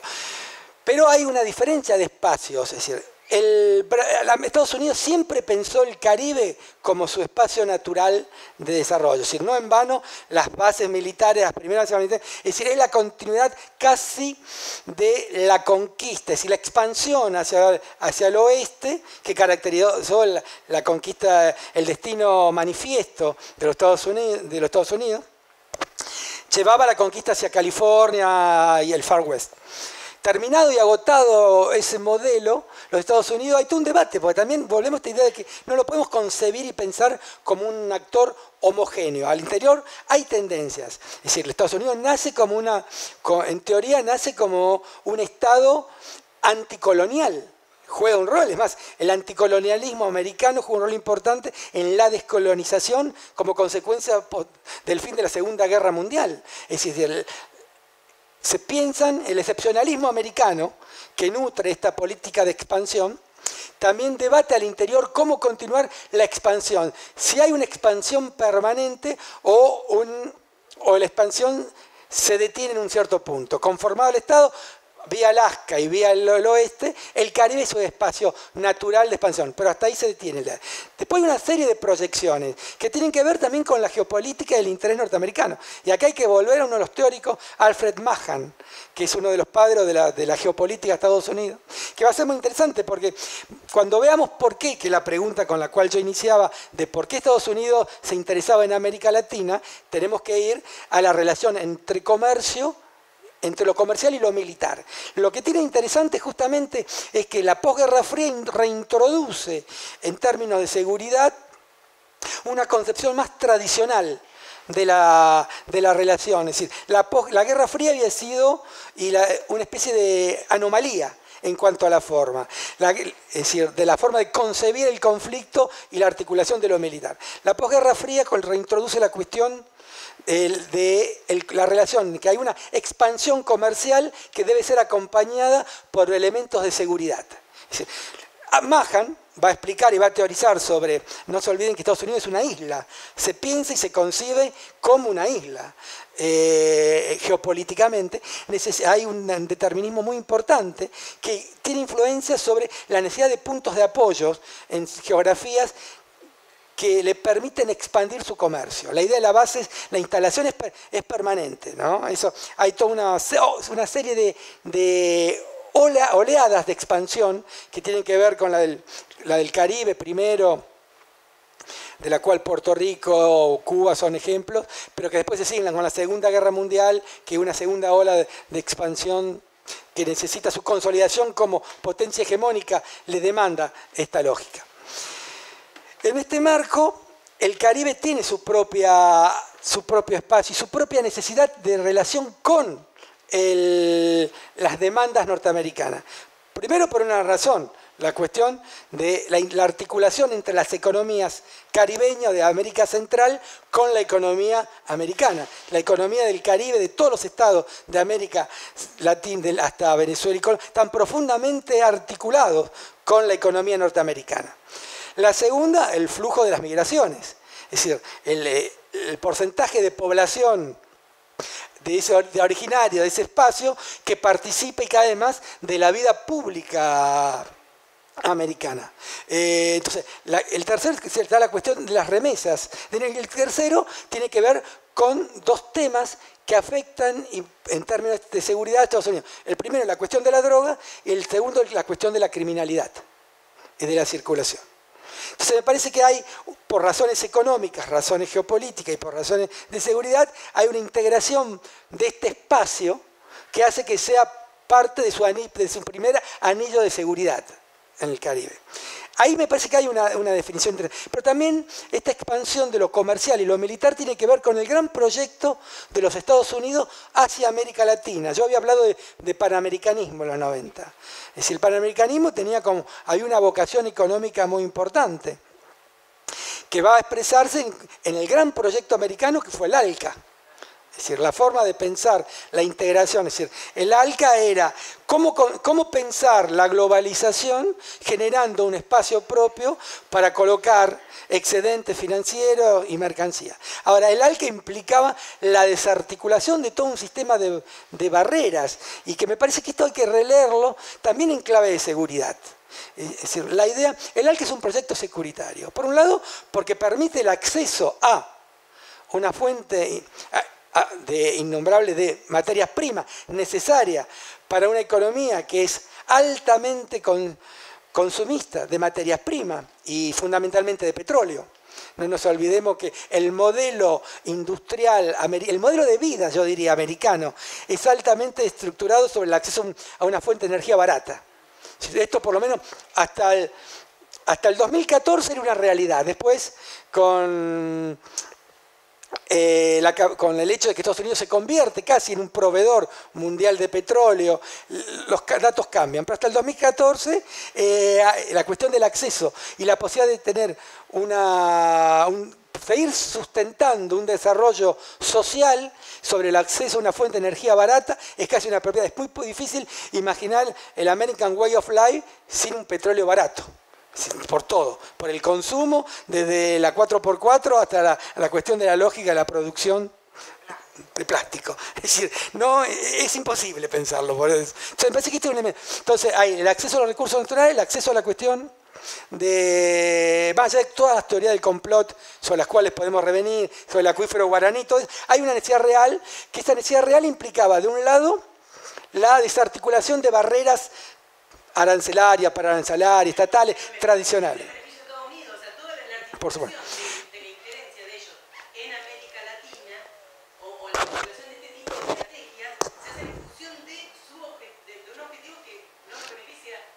Bueno, lo que pasa es que un, realista ortodoxo te diría funciona en función del interés nacional americano, más allá de lo que implica el interés nacional, de quién es el interés, ¿no? Si un Estado puede tener un solo interés nacional o si los conflictos al interior del Estado revelan formas diferentes de interés nacional. Pero yo no le criticaría a los Estados Unidos que hacen lo que ellos tienen, consideran necesario. El problema yo se lo criticaría a la, a la dirigencia política latinoamericana que no defienden lo que podríamos llamar nuestro interés nacional. Realidad colonial de Estados Unidos. Una realidad. Una realidad colonial, digamos, todas estas prácticas que vos decís, tanto a nivel comercial, geopolítico, su mar interior, que es el Caribe, siempre se apunta a revólver. Ah, por supuesto. Lo relacionado con todas las dictaduras militares. de los Por supuesto, 70, ese, de los 90. por supuesto, ese es otro, ese otro mecanismo, es decir, el cambio de mecanismo, eso es indudable. ¿Tenés la opción de decirle que no a Estados Unidos? No. No, bueno, ahí está, el, ahí está el debate. Vos fijate los intentos, ahora vamos cuando hablamos, ahora vamos a entrar a discutir ese fenómeno que es interesante con respecto a qué pasa en términos de seguridad a partir del 2003, 2004, 2005 en América Latina con diferentes proyectos que aparecen tanto por el lado de Brasil y como el lado del bolivarismo, del chavismo, porque es, eh, vamos, podemos entrar en ese detalle. Lo que te quiero decir, hay, también una necesidad en términos de contener, porque la, frontera, la barrera, esta cuestión de la circulación de los flujos, los flujos migrantes, no nos olvidemos que el principal flujo migrante que existe diríamos hoy, es hacia los Estados Unidos y viene de su periferia próxima, que es América Latina. Es decir, el, plan Puebla-Panamá, que es un gran espacio que va desde Colombia hasta el sur de Estados Unidos, tiene que ser pensado en esa lógica. La maquiladora es un elemento que debe ser leído en clave de estrategia. Es decir, ¿qué hace la maquiladora? Eh, Genera una especie de espacio de contención para evitar, es decir, es como una primera barrera. Antes de la barrera que está en Tijuana, las fábricas y las maquiladoras generan una absorción de mano de obra que proviene de esa periferia próxima. En este marco me parece que la dimensión de la seguridad y la dimensión del comercio van juntos. Esta característica que la geopolítica de Mahan ha históricamente pregonado, control de los, de los mares, puntos de apoyo con instalación de bases, enclaves, que han sido al mismo tiempo enclaves comerciales y enclaves militares, articulando estas dos dimensiones.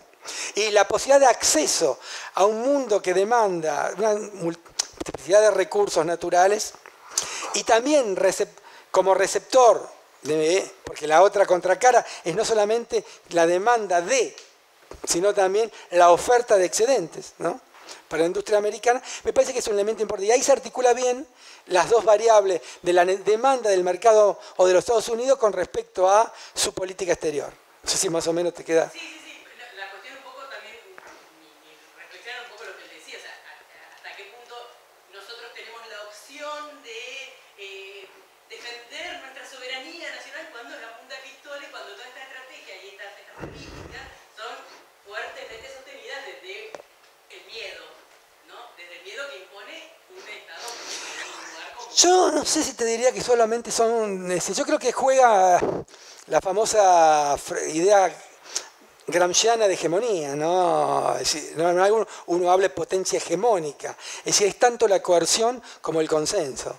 Es decir, eh, los mecanismos, es, decir, es el hard power como el, el soft power. No en vano, el concepto de soft power eh, de Nice se prestó para entender perfectamente la forma de aceptar, podríamos decirlo entre comillas, la, la sumisión a las relaciones imperiales, por llamarlo de alguna forma, en el discurso de los años 60, de los años 70. Parece que no podemos reducir a la cuestión coercitiva, independientemente que la cuestión coercitiva está, pero la dominación, eh, la forma de articular la dominación es mucho más vasta.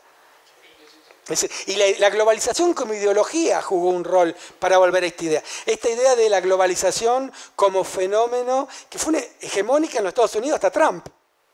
Es decir, el cuesta interesante porque los que terminan hoy sosteniendo la idea de la globalización como ideología y, y como proceso es justamente los chinos. Eh, Entonces me parece interesante este modelo de que hay una hegemonía, de eh, unirse al mundo, integrarse al mundo, el discurso finalmente que estamos hoy soportando en Argentina, tiene que ver también con eso, tiene que ver con esta idea de cómo concebimos las relaciones sociales y las relaciones internacionales. Entonces me parece que no solamente es, el aspecto coercitivo, eh, creo que también, sobre todo en el caso latinoamericano, funciona muy claramente el aspecto del soft power. ¿Cómo? Desde el, desde el patodón, como el del patodón. Bien, eh, pero bueno, todo este debate se da, se da el 2001, 2003, y a partir de los 2000 la situación cambia. El fin del consenso de Washington, el, cuestionamiento de un modelo de, que había sido la cuestión del neoliberalismo, la aparición de nuevas demandas por una, por una serie de movimientos sociales extremadamente heterogéneos, de los cuales inclusive participan las Fuerzas Armadas. Es interesante ver cómo participan y qué modelo de Fuerzas Armadas intentan. ¿no? hay toda una serie, está claro que uno piensa primero en el caso del bolivarismo chavista como elemento, pero es una práctica que tiene que ver también con el mundo andino muy fuerte. En Ecuador se, ha dado el caso del. Más allá después que cuál es el resultado y la praxis política, eh, una vez que llegan al gobierno, es el caso de Lucio Gutiérrez. Uno toma el discurso de Lucio Gutiérrez en sus principios. habíamos dado también el caso de Perú, del movimiento nacionalista peruano y el etnocacerismo en sus prácticas. Que tiene que ver también con, una, con otra de las viejas prácticas eh, de las Fuerzas Armadas y de los militares en América Latina. ¿no? Es decir Habíamos dicho ayer que las representaciones estratégicas latinoamericanas se nutren de la lógica europea, están atravesadas por la forma europea de pensar el, de pensar el conflicto y de pensar la guerra, pero también eh, las Fuerzas Armadas latinoamericanas tienen una multiplicidad de funciones, fueron partícipes de la construcción del Estado-Nación. Ocuparon el territorio, desarrollaron una política, generan y crean la nación. Por eso parece un concepto que es muy interesante, que yo ya que digo, o intento plantearlo, que sería la idea de la palingenesia. Es decir, la palingenesia es decir, tiene una doble función, o un doble... Por un lado, la repetición cíclica de los mismos acontecimientos. Es esta idea, otra vez, los golpes de Estado. Podríamos pensar y agotar la idea de palingenesia en lo militar a partir de esta idea. Es decir, permanentemente, y sí, que aparentemente en el lado de la democracia esto había si lo dejado a lado, tendía a ser relativizado. Pero también la palingenesia tiene otra concepción que a mí me parece más interesante, que la idea de refundación. La idea de la refundación. Es decir, esta idea que es muy fuerte, es decir, los ejércitos fundan la nación. Es decir, el ejército argentino, creo que el 21 de mayo, nació con la patria en mayo de 1810, decía la famosa. Es esta idea de que finalmente el Estado y la nación son un producto de la corporación militar esta idea de que hay una, que también la idea de, refundación no solamente es una idea propia a las Fuerzas Armadas latinoamericanas, es decir, primero, podríamos decir, no solamente es propio a los ejércitos, la refundación política, da la impresión que cada proyecto político que llega al poder, en el caso argentino hay una, idea de refundación, lo vivimos con el peronismo, el alfonsinismo intentó sobre otras bases refundar, es decir, hay como que la aspiración de refundar y comenzar de cero, de nuevo un nuevo ciclo. Pero es interesante porque en el caso de, esta visión es un viejo saber romano, es decir, la idea romana que la legión podía salvar a la ciudad, podía salvar a la ciudad, podía salvar Roma, es decir, Julio César. Es decir, no en vano se, lo utiliza como, casi como ejemplo de una especie de protopopulismo, la figura de César. ¿no? Esta idea de que la legión cruzando el Rubicón salvaba a Roma. Esta idea que se podía, es una vieja idea romana retransmitida a España, calculo, yo supongo, esto es casi de, la doxe, ¿no? del, episteme, llega a América Latina vía esa forma. ¿no? La idea palingenésica de los ejércitos, la refundémosla. una idea presente de la derecha a la izquierda, de, de Videla a Chávez, por llamarlo de alguna forma. ¿no? Este es un elemento interesante que no, podría ser útil para rastrear después cuando hablemos de los diferentes modelos de ejército una diferenciación importante. Esta idea de palingenesia frente a la desarticulación de, o, la crítica a los ejércitos nacionales aparece. Aparece en Chávez, aparece en Gutiérrez, aparece muy claramente en Rico y Zeneldín, en los caras pintadas, en el contexto de los, de los años 80, ¿no? de que el último reservorio, esta vieja idea de Lugones, ¿eh? de la hora de la espada, de el último reservorio de la patria. ¿eh? Bueno, aparece reactualizada en otro... Esto no quiere decir que sea todo lo mismo, pero me parece que ahí hay una pista a buscar, a explorar en esta idea de, la refundación. Mm, ¿En dónde estaban? Después lo, ah, veníamos hablando de...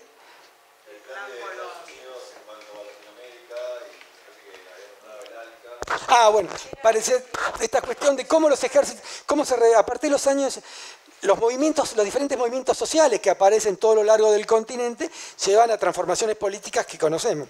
Es decir, hay nuevos actores que comienzan a entrar en juego, que no tienen que ver con eh, la lógica que había sido hegemónica en las sociedades eh, de, los, de, de los años 50, 60, 70. Ya no tiene, poco que ver con la disputa por la hegemonía regional como se había estructurado desde la formación del Estado postcolonial. Poco tiene que ver la realidad argentino-brasileña por, plantearla. O sea, acá hay otros, hay otros actores y que tienen en común diferentes proyectos. Yo no voy a entrar en la diferenciación de los neopopulismos o un eje socialdemócrata o un eje nacional popular, que me parece que poco explica ese tipo de cosas. Me parece que me interesa que hay como una voluntad común que lleva a articular que tanto, tanto Brasil como eh, Venezuela, con proyectos diferentes, puedan terminar articulando la necesidad de generar un nuevo espacio ligado a las cuestiones de seguridad que salga de la órbita de la OEA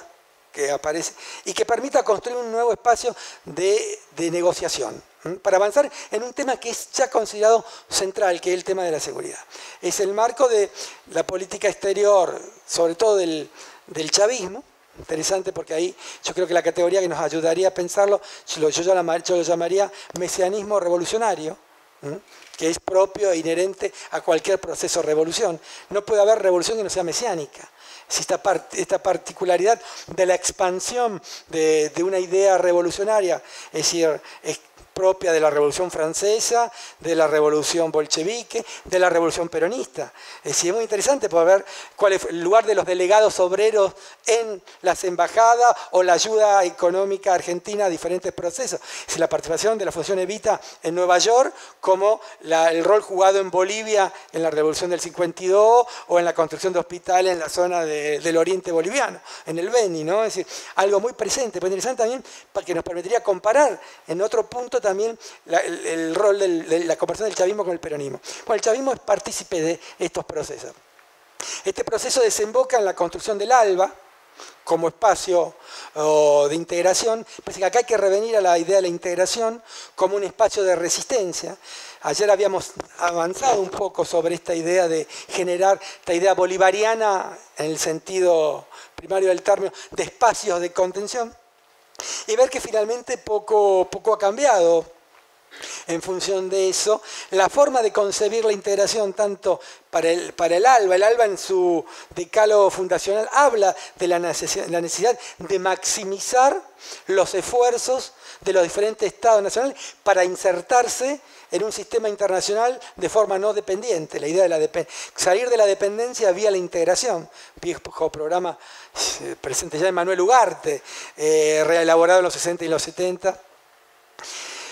Y que relabora y repiensa una vieja historia latinoamericana que tiene que ver con los fundamentos de eh, la lógica de la integración. Lo que aquí hay un cambio interesante es que Brasil tiene otra articulación. Brasil busca despegarse de la lógica latinoamericana para generar un espacio sudamericano. Es interesante porque hay un problema también geopolítico importante que es la relación con, eh, con México. Es decir, la, la, oposición que tiene justamente un México que tiene otra lógica, mucho más atravesada por la lógica de la globalización como ideología. Y el ejemplo más interesante empíricamente para fundamentar esto es la resistencia que hace Brasil a la, entrada, a la posibilidad de entrada, casi un veto de México al Mercosur. Es que México es un observador, pero no, no pasemos de ahí, ¿no? Y hay la idea de cerrar un espacio. Ese espacio en ese espacio coinciden, coinciden tanto los el bolivarismo con, Lula, y terminan acordando en 2008 la conformación Primero hay todo un espacio a partir de 2004, 2005, 2006 de, de, contacto entre los ejércitos latinoamericanos, ejercicios con común, compra de, material militar compartido, avances fundamentalmente ligados a los ministerios de defensa. No hay una doctrina estratégica propia regional, que lo que el ALBA pregona. El ALBA, tiene, el ALBA es mucho más radicalizada en su propuesta. Eh, el ALBA pregona tanto la construcción de una doctrina estratégica regional, porque lo interesante es ver que hay todo un vacío estratégico doctrinario. La última gran doctrina estratégica que se generó acá fue la doctrina de seguridad nacional. Después hay una búsqueda, es decir, oh, el kirchnerismo genera en Argentina el caso de una doctrina de seguridad con respecto a la protección del agua y el acuífero guaraní, por un ejemplo. Pero tiene que ver, con la necesidad de generar una demanda. El menemismo intentó generar una doctrina con la cuestión de la participación en las eh, operaciones internacionales, pero no, logró darle sustento eh, operacional a esa doctrina. El chavismo genera dos grandes mecanismos eh, que propone a partir del ALBA, que uno es la escuela, la escuela militar, que va a terminar fundándose en Bolivia, la escuela como una antesada, como una oposición al otro gran mecanismo que había sido tradicionalmente, históricamente, la Escuela de las Américas. Es interesante saber que los Estados Unidos en su, en su modificación doctrinaria muda la Escuela de las Américas, la liga a la, a la democracia saca, la lleva a Georgia e intenta desarrollar y la liga a la cuestión de las nuevas problemáticas la cuestión de ejércitos democráticos. El ALBA intenta generar una contraescuela, que primero había una, ya desde los mediados de los años 2000, cada vez se envían menos militares a formarse a la, escuela, a la ex, a la vieja Escuela de las Américas. Y el otro es la necesidad de una doctrina estratégica global y la posibilidad de constituir, una verdadera alianza militar. Viejo, vieja cuestión propia del Atlántico Sur, es decir, la idea del NOTAS, una versión del Tratado del Atlántico Sur, viene desde la posguerra del, del 45. Jamás por rivalidades, por problemas de, rivalidad geopolítica entre Argentina y Brasil, no se activó. Esto es rechazado, Brasil no intenta o no, le interesa ir más allá de pero sí le interesa reintroducir otro fenómeno, otro problema que había sido de lado o dejado de lado con la cuestión de la securización de lo, de lo social, esta idea de la, de la seguridad hemisférica regional, que tiene que ver con una lógica que gira no tanto en torno de las nuevas amenazas o esta idea de amenazas privadas, sino con reintroducir la figura del Estado detrás de una conceptualización de un otro amenazante. La idea de un Estado-nación amenazante y esto va a estar claramente ligada a o el escenario de lo que aparece como un elemento crucial en la, en la posguerra fría, que es las, las materias primas. Es decir, independientemente del debate sobre cuáles son las amenazas, eh, yo había dicho que se vuelve un escenario más clásico y tradicional de seguridad. Ese escenario más tradicional nos lleva a un elemento casi fundador de la idea de, la defensa y la seguridad, que son las materias primas, la apropiación de materia prima. ¿Se acuerdan que ayer hablábamos de la cuestión de los sigurat en Mesopotamia como un mecanismo de acumulación? Eh, lo que es interesante porque las materias primas jugaron un rol protagónico en lo que se había llamado a principios del siglo XX el gran juego. El gran juego que tenía que ver con el acceso a los recursos naturales, que anticipa la, segunda, la Primera Guerra Mundial del 14. La diferencia que hay con este, con este primer gran juego es tiene que ver que son, han cambiado los actores. Hay una multiplicidad de actores. Los países periféricos no aparecen subordinados, sino aparecen como actores plenos en el juego. Tanto la India, Brasil como China participan. Hay una diferenciación de cuáles son las materias primas que aparecen. El espacio es por primera vez global. Llevan el Ártico y la, Antártida participan de este gran juego, acompañado por lo que ha sido la cuestión del calentamiento climático comienza a aparecer. Es decir, estamos frente a actores diferentes, dimensiones y escalas diferentes y una geografía diferente con respecto a lo que había sido el, gran juego de principios del siglo XX. En este marco, la, teoría o la construcción de una amenaza gira y se estructura alrededor de, lo que cada Estado-nación va a definir como principal objetivo estratégico. El caso del agua en Argentina, el caso del gas en, Bolivia, la cuestión de, del petróleo. Es muy interesante porque a nivel táctico también la compra de submarinos por Venezuela tiene que ver. Inclusive Brasil participa de esta idea. Es el momento del descubrimiento de la plataforma continental brasileña y de petróleo, ¿no? Pero también es interesante porque justamente Brasil tiene como una especie de, de, vanguardismo. Habíamos hablado ayer de la importancia que tenía la geopolítica brasileña. La geopolítica brasileña rápidamente intentó construir doctrina estratégica reemplazando la doctrina de nacional. podríamos decir que la doctrina de la defensa natural reemplaza la doctrina de nacional. Ya en los años 90 los brasileños intentan, por más allá que hay una permeabilidad entre las doctrinas de la seguridad nacional y las diferentes doctrinas.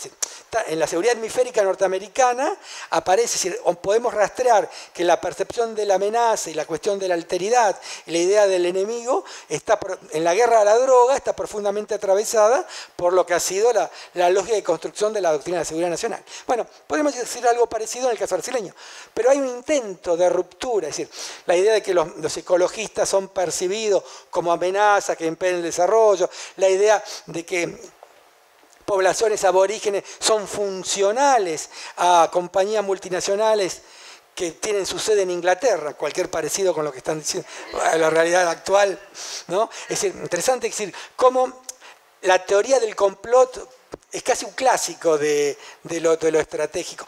Es decir, es, lógico entendible la facilidad que tiene para explicar la complejidad de un mundo. El complot, a veces del modelo binario entre... Bueno, Independiente más allá que el complot es constitutivo de lo político, basta leer El Príncipe, no, no hay ninguna duda de que es, no, está, no está mal pensar que hay los el complot existe y es parte de, la política. Ahora, la teoría del complot es otra cosa. Me parece que la, diferencia entre uno El caso brasileño jugó un rol importante. Hay muchos elementos de, la geopolítica de los 60 y los 70 de Brasil que reaparecen. Pero está claro que Brasil centró la cuestión de, la defensa de los recursos naturales muy rápidamente antes de que hasta se pusieran de moda, digamos. Es decir, y están por una cuestión fundamental del interés nacional brasileño, que es el Amazonas. Eh, la Amazona es el punto de fuga de la geopolítica brasileña, de la misma forma que es la Patagonia para, para los argentinos. La revista Estrategia en Argentina, igual que Alminelli, escribían y trabajaban y comparaban permanentemente la Amazonas brasileña con lo que sería la Patagonia argentina y el Atlántico Sur como espacio de, proyección y también la Antártida. el extractivismo que se va dando también es supranacional. Digamos, esos recursos no son solo explotados por el Estado en cuestión. Por supuesto litio ahora no creo que lo quiera explotar Argentina, en el noroeste argentino puntualmente. Entonces, digamos, eso creo que no puede. O sea, ya, ya está superado. Y si no pudiera, igualmente tiene intereses extranjeros que se van a encargar de, de, sacar ese material de acá. Pero, en Amazonas ya levantaron las leyes de protección natural, las leyes de bosque acá nunca se aplicaron. Exactamente. Por eso plantea la cuestión del recurso a la tierra. Fundamentalmente en el caso argentino yo creo que la cuestión central pasa por la tierra lo que nos permitiría primero porque la tierra es el principal recurso natural. Esto también es interesante, porque cuando yo planteaba esta cuestión del gran juego y comparaba los procesos históricos entre el, 20, eh, el contexto anterior a la Primera Guerra Mundial y ahora, es decir, la cuestión del acceso a la tierra no está, no aparece como decir. Y hoy hay una extranjerización de la tierra que no solamente es un fenómeno, es decir, primero que es un fenómeno interesante desde el punto de vista de quienes participan. Es decir, en esta extranjerización de la tierra se da en toda la periferia. Se da de la, África negra, en la África sahariana, se da en el sudeste asiático, se da en Filipinas, se da en, la mayoría de los países de América Latina. Hay todo como una especie de, de extranjerización del sur. Segundo, ¿quiénes participan? Encontramos China, encontramos Qatar, encontramos una serie de países muy diferentes en cuanto a la forma de concepción de lo político y de organización social. La presencia china, por lo menos en, África, es interesantísima. Es decir, el nuevo sistema de alianza que genera la presencia eh, china con nuevas élites y la construcción de nuevas élites económicas. Y tercero es que salvo raras excepciones, hay una, especie de aceptación tácita de esta presencia. Es decir, es inclusive visto como un factor de desarrollo. Lo más interesante ver es que la ley que es decir, que acompaña la ley en América del Sur, hubo durante los gobiernos neopopulistas, en las diferentes geografías, un intento de limitar la extranjerización de esa tierra, de separar la tierra de la frontera. Me parece que acá hay otro elemento importante que tiene que ser reintroducido en los debates, la frontera y los roles de la frontera y cuáles son las particularidades de la frontera como sistema defensivo. Y por darte un solo ejemplo, ¿qué hizo el macrismo cuando llegó? Es decir, lo primero que hizo es sabotear la ley de defensa de, tierra y de extranjerización, llevándola al 51%, la participación en los consorcios de los extranjeros, es decir, dándole el, control casi total. Entonces me parece que es interesante entender cuál, cómo esta cuestión de, los discursos y la cuestión de la centralidad del recurso estratégico ligado a la materia prima participa de la realidad, de la realidad real y de la realidad imaginaria, porque me parece que también que este es el otro elemento que hay que entender. Creo que es fundamental entender que en términos de seguridad, la dimensión imaginaria de la amenaza tiene tanto valor como la dimensión real, y que se puede actuar en función de lo imaginario. Es decir, basta ver eh, los años 60 y 70, lo convencido que estaban las élites latinoamericanas y los militares latinoamericanos de la inminencia de una invasión soviética, vía las diferentes versiones que podrían llegar a tener eh, la presencia activa de agentes. Y me parece que también hay una dimensión imaginaria muy fuerte en la cuestión de los recursos naturales. Hay algunos autores son muy críticos a esta idea. Ruth Diamin, una teórica argentina, critica permanentemente esta idea de los recursos naturales. ¿no? como eh, una cuestión central de la seguridad. ¿Cómo, si el debate que van a, ¿Cómo se los van a llevar los recursos naturales? Es la pregunta que se plantea hoy, diciendo que bueno, finalmente los recursos no tienen un estatus estratégico ni de amenaza.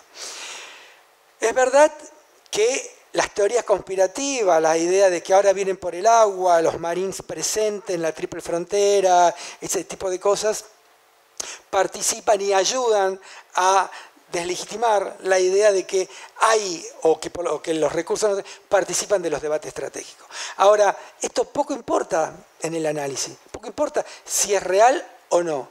Ese estatus que se le da como amenaza tiene que ser considerado, tiene que ser evaluado, pues tiene efecto de realidad sobre la toma de decisiones. Sobre todo en un terreno en el cual tradicionalmente eh, lo imaginario participa. esa idea de, lo imaginario me parece que es muy interesante. Y tal vez en, la cuestión de la seguridad tiene una dimensión más fuerte por lo que está en juego, que tiene que ver con la protección, que, no, que, que en otros ámbitos. ¿no? ¿Preguntas? Bien.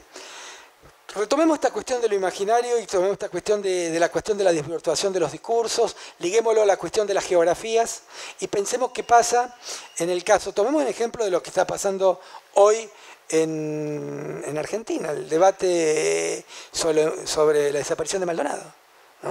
Y que lo, analicemos esto, hagamos, intentemos un ejercicio, tomemos este caso y veamos cómo una serie de elementos de los que sobre los cuales nosotros estuvimos hablando, que tienen que ver con todo el siglo XVIII, el XIX, el XX, pueden aparecer en el análisis de un caso limitado, puntual, casi que podría ser anecdótico, si no hubiera tomado la dimensión que, porque el mismo caso, si en vez de ser Maldonado, que hasta pareciera que había pasado por un casting, para generar problemas. Hubiera sido un chico toba, cuón o, mapuche, no hubiera generado absolutamente ninguna, ninguna movilización. Decir, el gobierno tuvo la mala suerte de que... clase media, es decir, eh, eh, lo que también representa en cuanto, es decir, porque interesante, porque esta figura del artesano puede ser tanto sujeto de odio, es decir, como digamos, puede ser, eh, puede ser tanto eh, este sucio de pelo largo, viste, viste, por algo será, como también eh, el exuberante de la familia, que eligió la vía alternativa. Sí, pero no olvidemos otro rol de gendarmería como institución en Argentina. No, no, por supuesto, pero... considerada una institución de toda amiga de la democracia, digamos que fue la que vino a reemplazar de alguna manera a la policía, la policía de Buenos Aires, el tiempo de Rucauf en los 90, siempre fue una institución que fue considerada mucho más amiga de la democracia, la alternativa a los milicos, el control de la policía. Lo que pasa es que eso no resiste los archivos de gendarmería. ¿De gendarmería? Claro, si vos ves los archivos de gendarmería y ves las prácticas históricas que ha tenido de control social desde los años 30, cuando... De hecho, desde 2004 para acá se duplicó la cantidad de gendarmes en la historia argentina, de 17.000 a 34.000. que también explica el porqué de la necesidad, hay una cuestión más casi operacional de, la política de recurrir frente a las policías. Yo no voy a venir a explicarle a ustedes lo que son las policías provinciales, eh, no hace falta, pero hay una necesidad del poder. Por eso también me parece interesante algún intento, inclusive de la oposición, alrededor de, Cristina, de querer... Eh, separar un poco la gendarmería, pues diciendo, bueno, si tenemos que volver algún día al gobierno, también vamos a tener que gobernar con esta gendarmería y los vamos a necesitar. Eh, lo, vamos a necesitar no solamente de Bullrich, me parece como, como práctica a tener en cuenta. Pero me parece ahí que yo no, me parece que hay que reintroducir, ahí hay varias cosas, varios debates. El primero, por supuesto, para ligar con la cuestión de la tierra, es que finalmente el debate de la tierra no son las mil hectáreas que tienen los mapuches tomadas a Benetton. Es decir, el problema de la tierra fundamentalmente ahí es Lewis y es... Que tiene, que tiene nosotros. es la ley que estamos defendiendo. que pero que, que eh, habilita una serie de debates sobre la cuestión que se nutren finalmente de una historia. Pues yo cuando le hablaba del Iusi Potidetiuri, de la cuestión de la conquista de la Patagonia, el debate sobre la cuestión, es decir, los recursos, los que hacen, uno basta, basta ver intratables, por dar un ejemplo, que es casi, no, pues yo creo que es un ejercicio sociológico importante para entender el, sentido común de, de, la sociedad, de ciertos sectores de la clase media argentina. Y la cuestión de la desvirtuación, de, con un desconocimiento absoluto ¿no? de la cuestión de mapuches y tehuelches. exactamente, me parece que es fundamental entender cómo se articulan debates que son debates que tienen poco que ver, pero que son debates contemporáneos. Es decir, cuando nosotros hablamos de América Latina y la problemática de, haber un, de tener la dificultad de construir una amenaza. Es porque América Latina también tuvo una particularidad. La forma más importante de violencia política instituida en los años 90, ligada a la construcción de un demo, de un etnos, más que de un demos, eh, en América Latina no existió. Es decir, no hemos vivido los Balcanes, no hemos vivido lo que fue el desmembramiento del imperio soviético en la articulación de identidades políticas a partir de una reivindicación de, tipo, de un etnonacionalismo, por llamarlo de alguna forma. Al contrario, los movimientos, es decir, los diferentes movimientos que jugaron la construcción apoyaron a la reivindicación de, lo, de las, poblaciones, originarias para incluirlo en un proyecto político, terminaron hablando en nombre de la nación y terminaron apoyando estos proyectos, terminaron criticando el proyecto del ALCA, decir. Los dos ejemplos.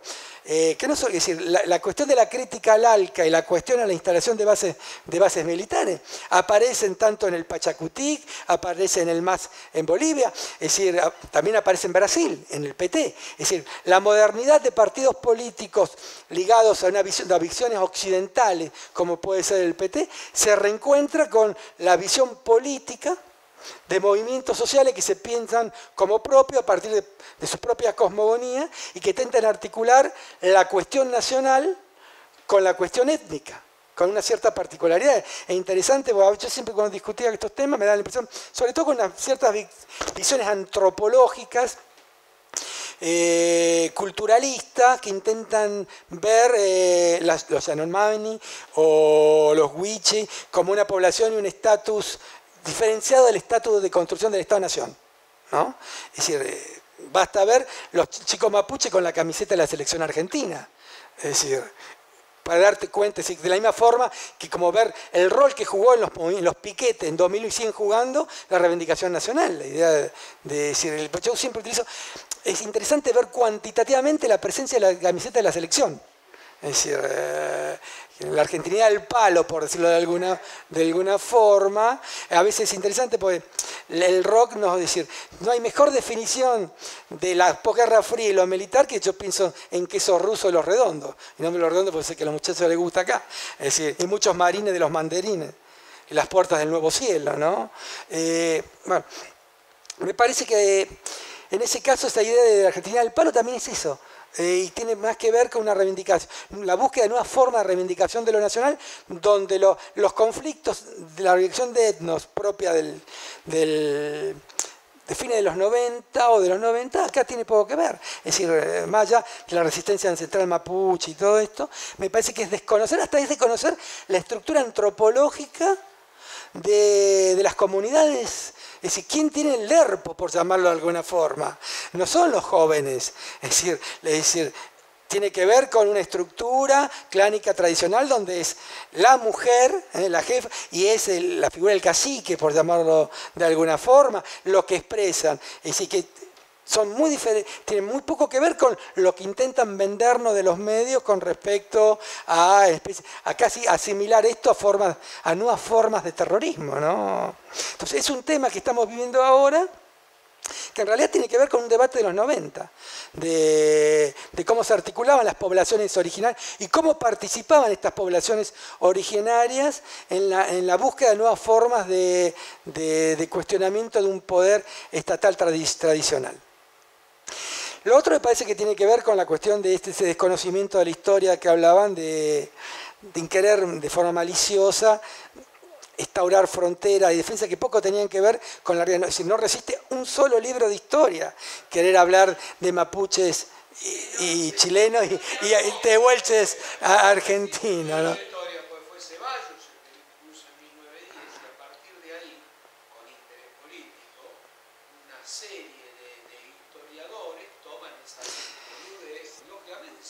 Yo te hablo de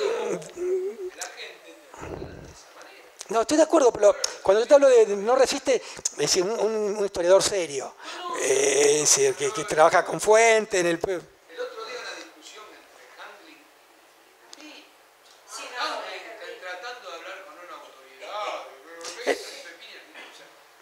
para nada. ¿Qué, va a discutir Handling con Pero igual Handling es alguien que viene de hace mucho tiempo, tiene que hacer un encono personal con las poblaciones originarias. Basta leer las columnas que escribí en La Nación hace algunos años vos veías que ya hay esta cuestión de, de encono no sé por qué habrá que ver un analista y para que, lo lleva a querer centrar tanto la, la, figura, porque yo he leído repetidas columnas de él donde la centralidad está dada por las poblaciones originarias, ¿no era Frey, Frey se equivocaron de ingeniero, que es ingeniero, digamos, cuando instala el Parque Nacional Sur, primero protegen a todas las, poblaciones, porque echan a la mierda los de población y empiezan a instalar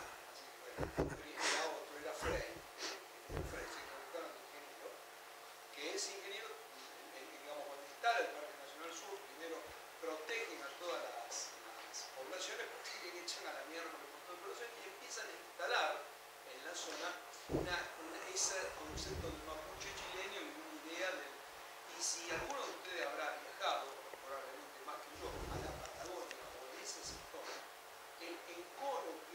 hacia el mapuche o hacia el falso mapuche que dice que es mapuche, yo tengo un amigo que venía de bueno, hablaba con él, o sea, hay instalados regionalmente una, un encono hacia esta, hasta, que, hasta qué punto están bien esos reclamos, hasta qué punto son, son truchos, son indios truchos, son feliz días de la Patagonia. ¿El indio trucho?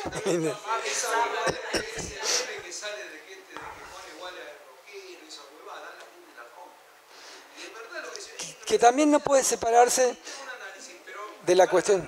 No, yo estoy de acuerdo, pero desde el punto de vista de lo... Si vos intentás tener un poco de objetividad, es decir, la forma de la constitución del Estado-Nación postcolonial, la cuestión de los espacios vacíos, la lucha por la conquista, los territorios, la circulación, no resiste ese. Y esto me parece interesante para cerrar, antes de abrir el debate, porque ustedes llevar esto a los temas de la vida cotidiana, ¿no? de que van desde el problema de las drogas en los barrios de acá hasta la cuestión del sistema internacional, las consecuencias con respecto al terrorismo, si quieren que hablemos algo sobre lo que pasa en Europa. Me gustaría cerrar, tomar esta idea de lo moderno, yo había dicho en un momento que lo premoderno puede ser lo posmoderno. Mi hipótesis sería algo así.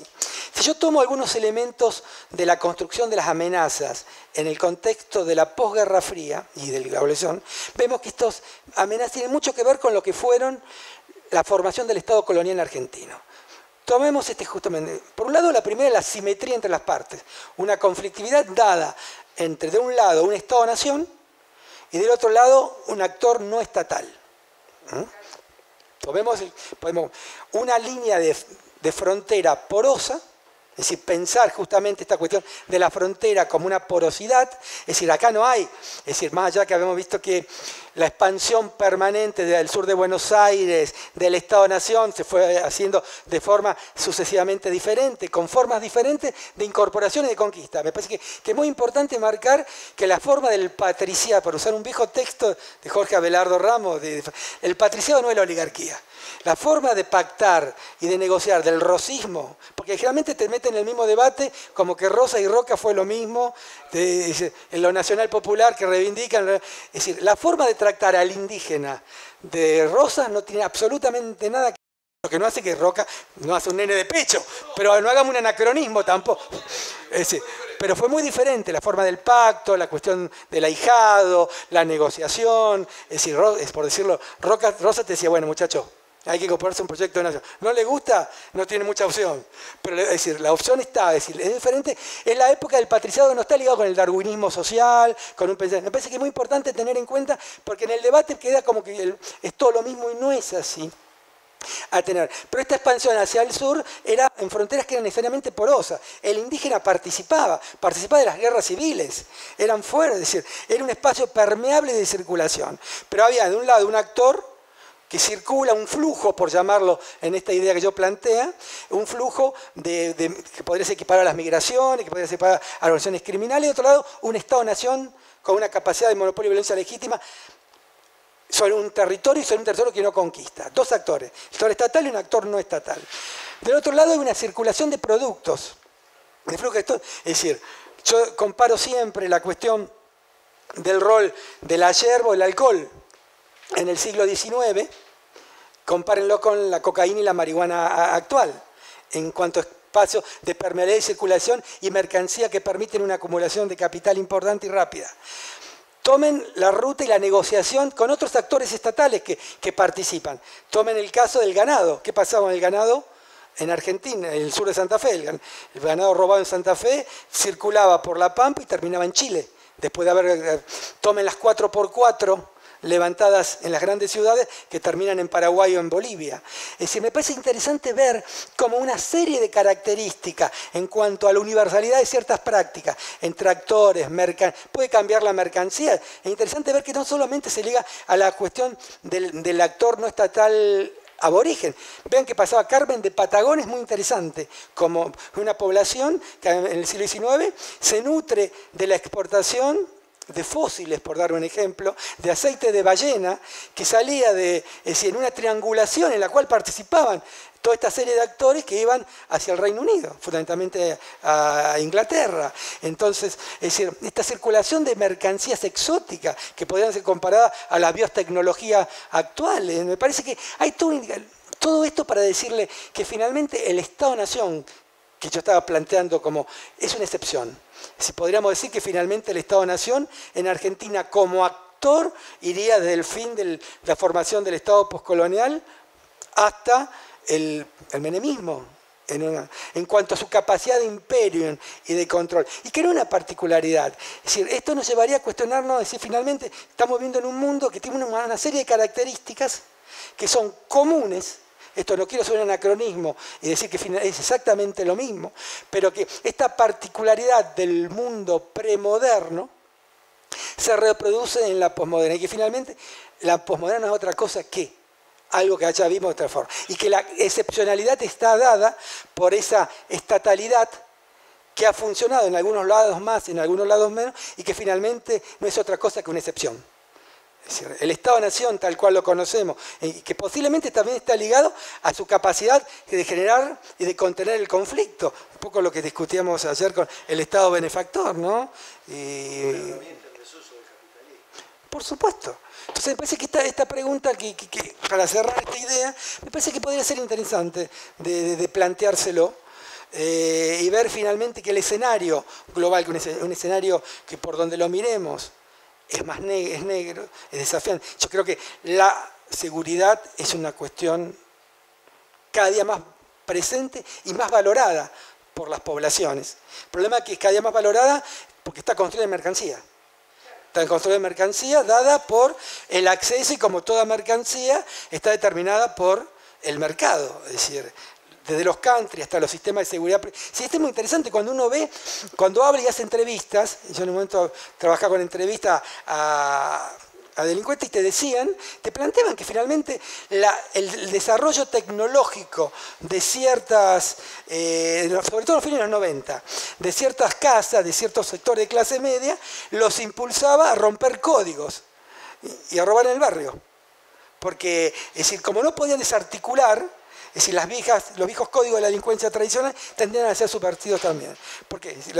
bueno, la cuestión de este fenómeno de los incluidos, lo excluido, que creo que es el problema central para pensar, también se da en el fenómeno, en el fenómeno de la seguridad. Es decir, cuando uno toma las teorías como la de la tolerancia cero y la nueva construcción del espacio, porque me parece que acá hay una nueva territorialización que aparece de la mano. Yo no lo planteé, pero es un elemento fundamental. Cuando hablamos de los famosos estados fallidos. ¿no? Es decir, cuando hablamos de la falta de capacidad de imperium del Estado, la necesidad de reapropiarse y participar como elemento central. Es decir, el caso de la triple frontera es el caso más interesante a, a estudiar como espacio por el discurso que hay instalado, justamente cuando hablamos de la dimensión imaginaria de la amenaza. Y cómo juega.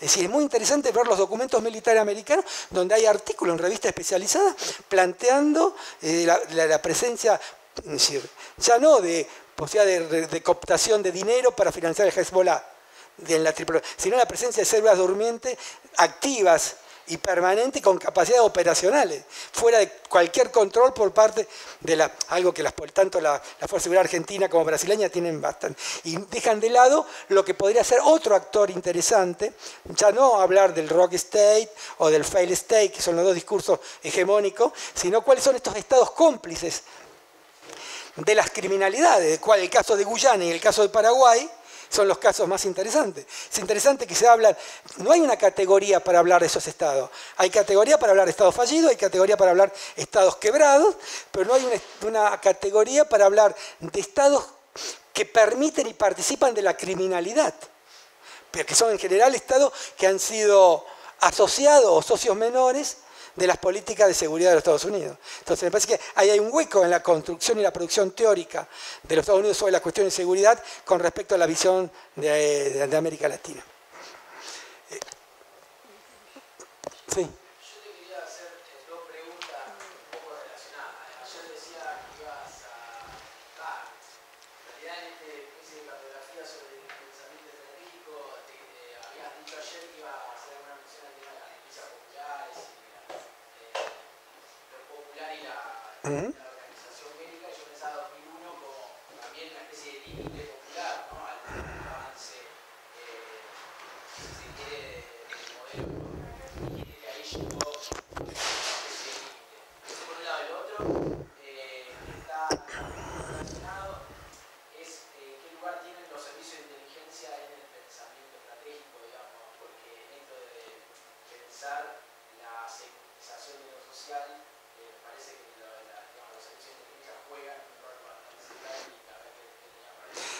Yo creo, me parece, eh, si volvemos al análisis ayer sobre las dos figuras, la figura de la fuerza y la figura de la astucia, si los servicios son Ulises, son el paradigma de la lógica de Ulises. Y la operación política, decir, por eso yo ayer planteaba en algún momento esta cuestión, que más que la cuestión de la gendarmería, que es tener razón, con, es decir, yo no creo que haya un plan sistemático ni que la gendarmería responda a una lógica de chupar gente. Yo creo que mi hipótesis, hablando del desconocimiento absoluto, tiene que ver con, más que nada, con que la, cuestión disciplinaria típica de la fuerza de seguridad y la imposibilidad, es decir, una coyuntura que se le fue en un marco de imponer esta idea del terror como práctica para reactivar los miedos. Ahora, me parece que el caso de los servicios, donde aparece más evidente, es en, en la generación de, decir, de práctica. Lo de la Plaza de Mayo del otro día. Yo creo que históricamente los servicios han funcionado y han sido un actor estratégico importante y siguen siéndolo. Y siguen siéndolo no solamente en Argentina. Creo que cada día hay más servicios de inteligencia. Y si no lo digo ni a favor ni en contra, intento simplemente comprender. La política y la seguridad pasa cada vez más por la figura de Ulises que por la figura de Aquiles. Es decir, el límite, lo decíamos ayer, era la capacidad de golpear, la fuerza bruta, la intervención, el bombardeo. Es decir, muestra sus límites. Es decir, ¿qué es lo que te muestra el sistema internacional hoy como práctica en los conflictos?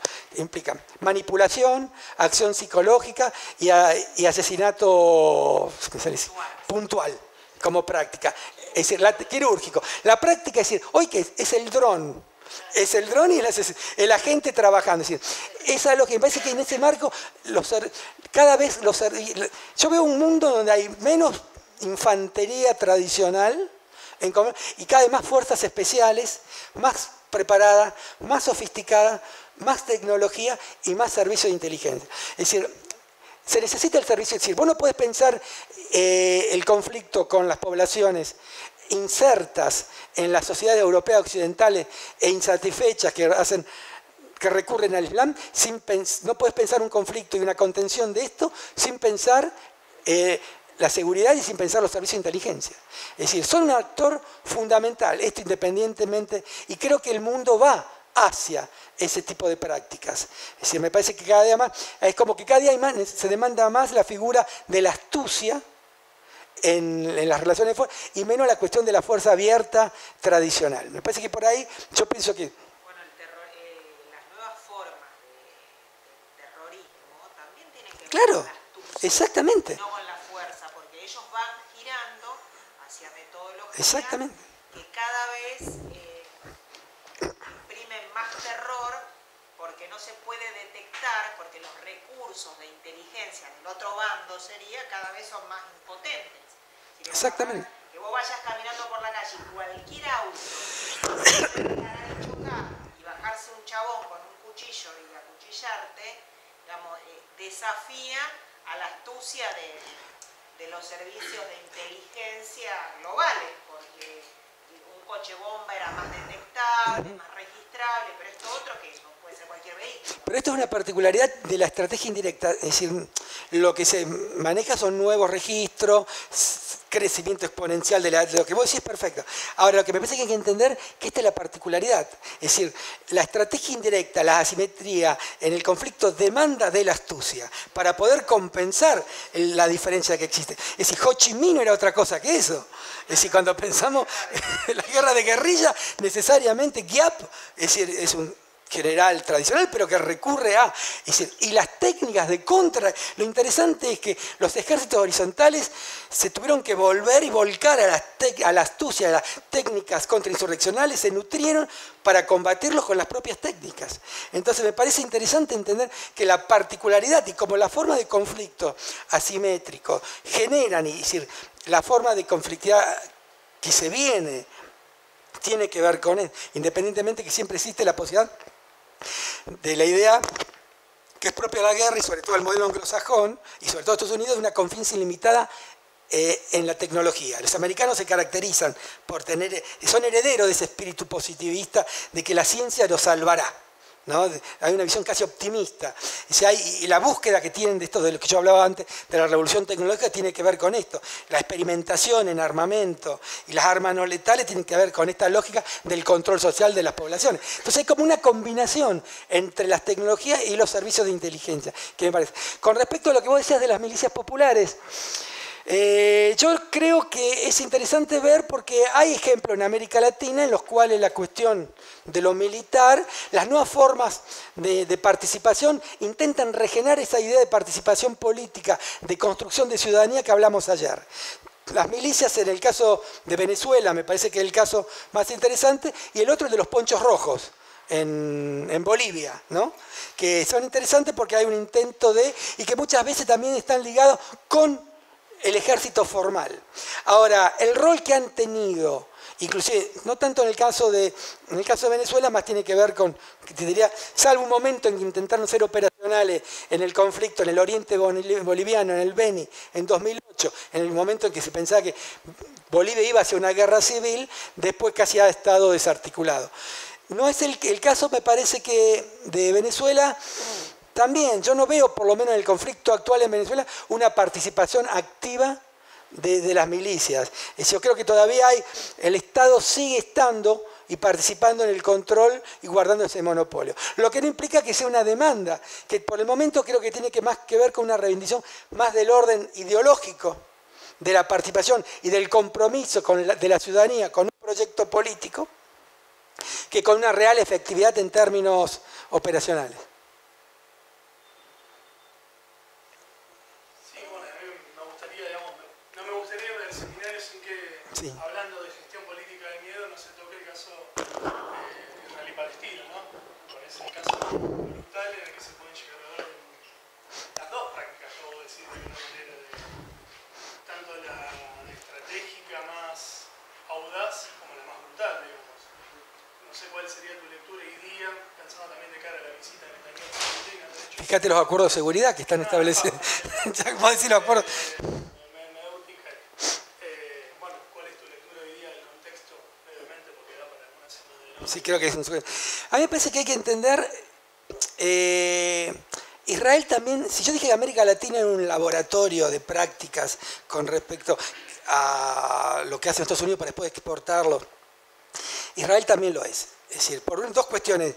Una cuestión, primero, que tiene que ver con su desarrollo de la tecnología y el recurso a, a lo no solamente a lo tecnológico, es decir, eh, el hecho de, haber sido, de haberse concebido en una situación y de pensarse como un Estado asediado, fija de lo que hablamos, lo llevó a una, a una forma de, de llevar al extremo esta idea de la lógica del, del militante, de la participación y de la búsqueda de mecanismos que van en todo lo extremo, van desde el desarrollo del Krav Maga, por darte un ejemplo, en cuanto eh, a una sistematización de defensa personal extremadamente efectivo, hasta el desarrollo de nuevas tecnologías y los asesinatos eh, puntuales. Es decir, la técnica que está utilizando Obama para a partir del 2007-2008, interesante, porque siempre está este debate sobre que Bush, Bush, pero decir, no da la impresión de que, de que Obama haya retrocedido en su... Al contrario, acá cambió las tácticas.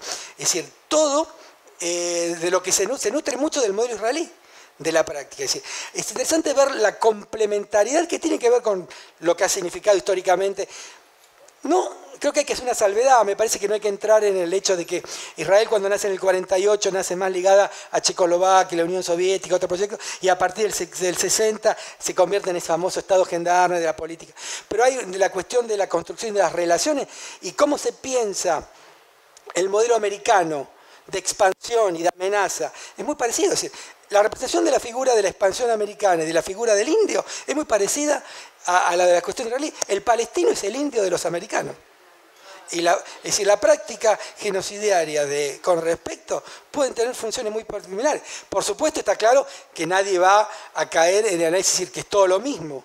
Es decir, que al interior del Estado de Israel hay diferencias, pero hay una particularidad de una cierta política de Estado que tiene que ver con el control del agua, el control de la tierra, con la relación, que se nutre de una, de una tradición y que se, es complementaria con respecto al modelo estadounidense. Por eso me que esta figura de cómo pensar la figura de ese otro amenazante son muy similares, lo que también permite los vasos comunicantes, más allá de los vasos comunicantes tradicionales entre las élites, los intereses y los intereses geoestratégicos de Estados Unidos en el Medio Oriente. ¿no?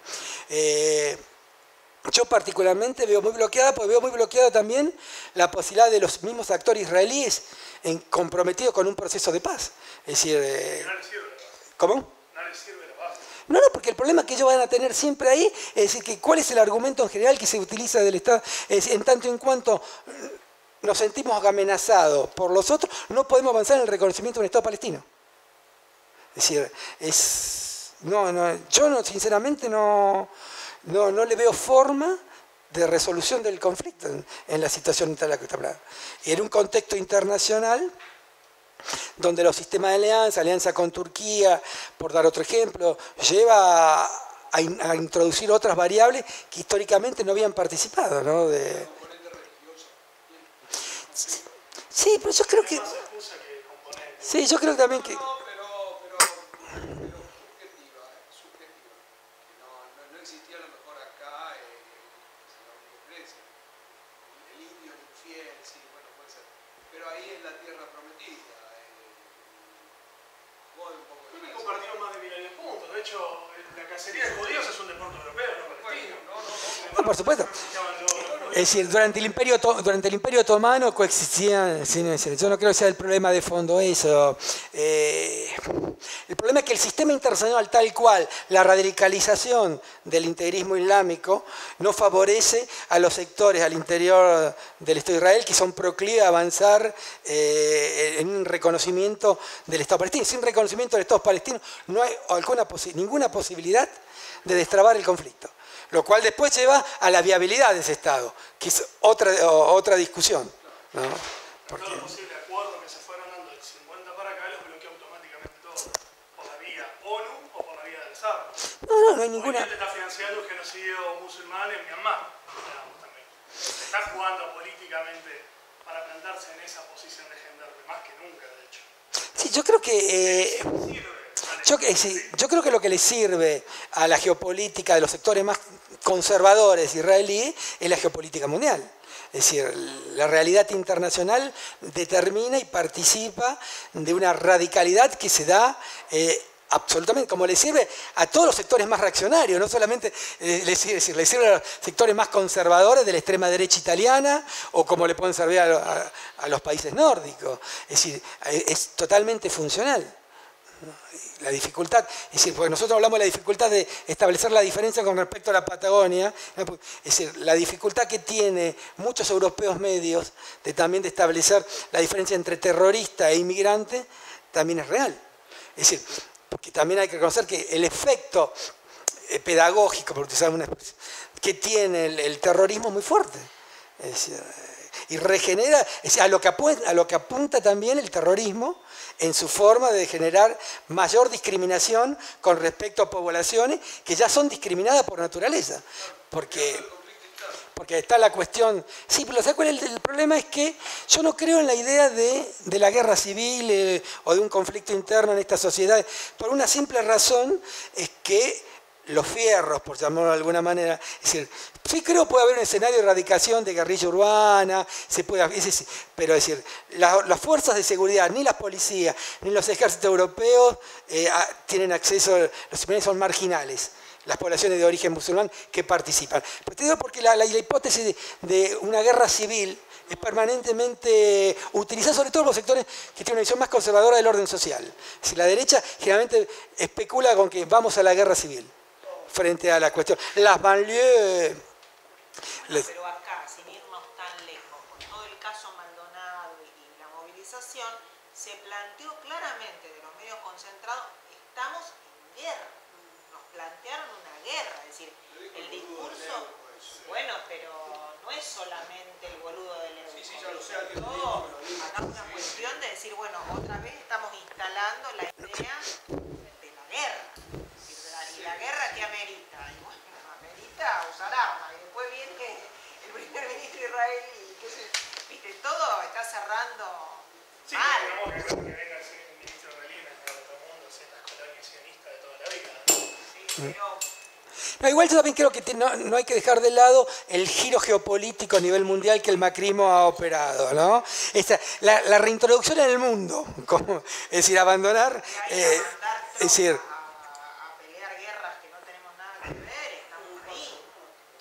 Me parece que ese giro es el...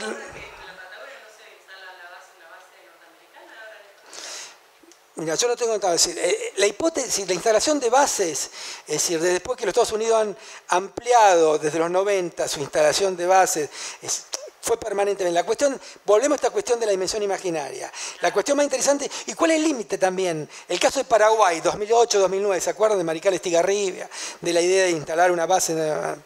Eh, la idea es que lo, lógico que hay, había detrás de eso, es que había acuerdos entre el gobierno de Duarte y el gobierno de Estados Unidos. se, se permitía las naranjas paraguayas a los Estados Unidos a cambio de, desarrollo, de posibilidad de, cooperación a nivel de seguridad.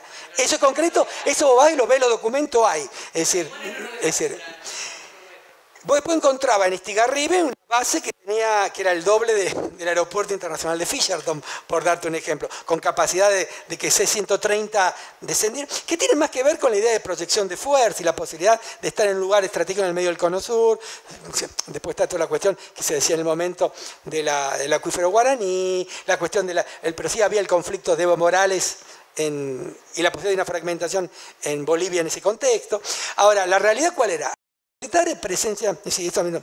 yo hice un trabajo de campo en el 2008, en ese momento fui a Marical Estigarribia, hablé con militares paraguayos, le pregunté, lo interesante es que los militares paraguayos tienen una facilidad para hablar, hablan mucho, son, tienen mucho la posibilidad, y ellos lo decían en la isla, es decir, acá tenemos instructores militares americanos que nos están dando, están haciendo técnica antisorcional, pero ahí aparecía lo que volvemos a esta cuestión del, discurso, cuando yo no lo planteé, pero las operaciones militares otras que la guerra, como la securización, ¿no? Esta idea de la securización, de, desarrollar escuelas, desarrollar dispensarios, campaña de salud, los planes medretes, de, bueno, esto eran parte de eso. Había militares norteamericanos haciendo operaciones, ejercicios que tienen que ver con esta idea de la securización de lo social, que eran hegemónicas y que eran parte de la concepción del mundo en ese momento.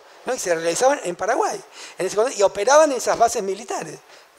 Bueno, esto no hace de eso una base militar norteamericana, pero si había base militar y se buscaron bases de reemplazo a las bases norteamericanas, que en Manta después se buscó el caso de Colombia, un actor interesante a seguir, porque, y también interesante para ver la compenetración del Consejo Sudamericano de Defensa, la reunión de Bariloche, donde eh, se le plantan justamente al acuerdo que, plantea Colombia con los Estados Unidos, y no se cae, no se cae la UNASUR y no se cae eh, el Consejo. Después empieza a entrar en una especie de zona de letargo, pero en ese momento se cae.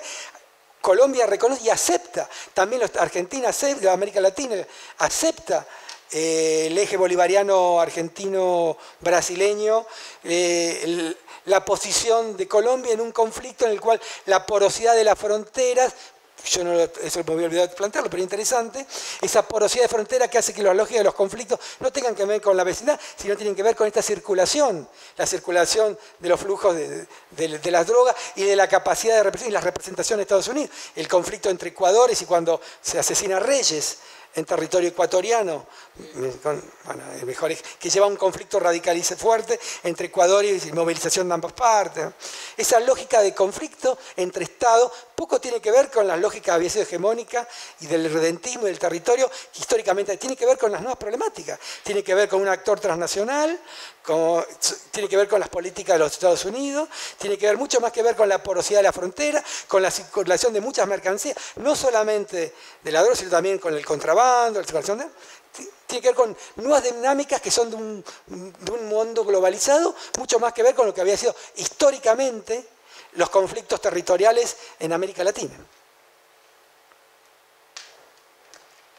¿Preguntas? ¿Alguna duda?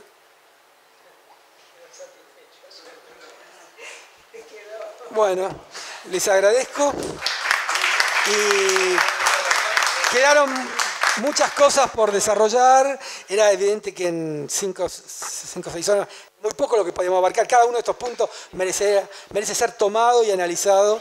Pero bueno, me parece que puede ser más interesante generarlo como un eje, como un disparador. Y bueno, tendremos presente el libro cuando lo terminemos.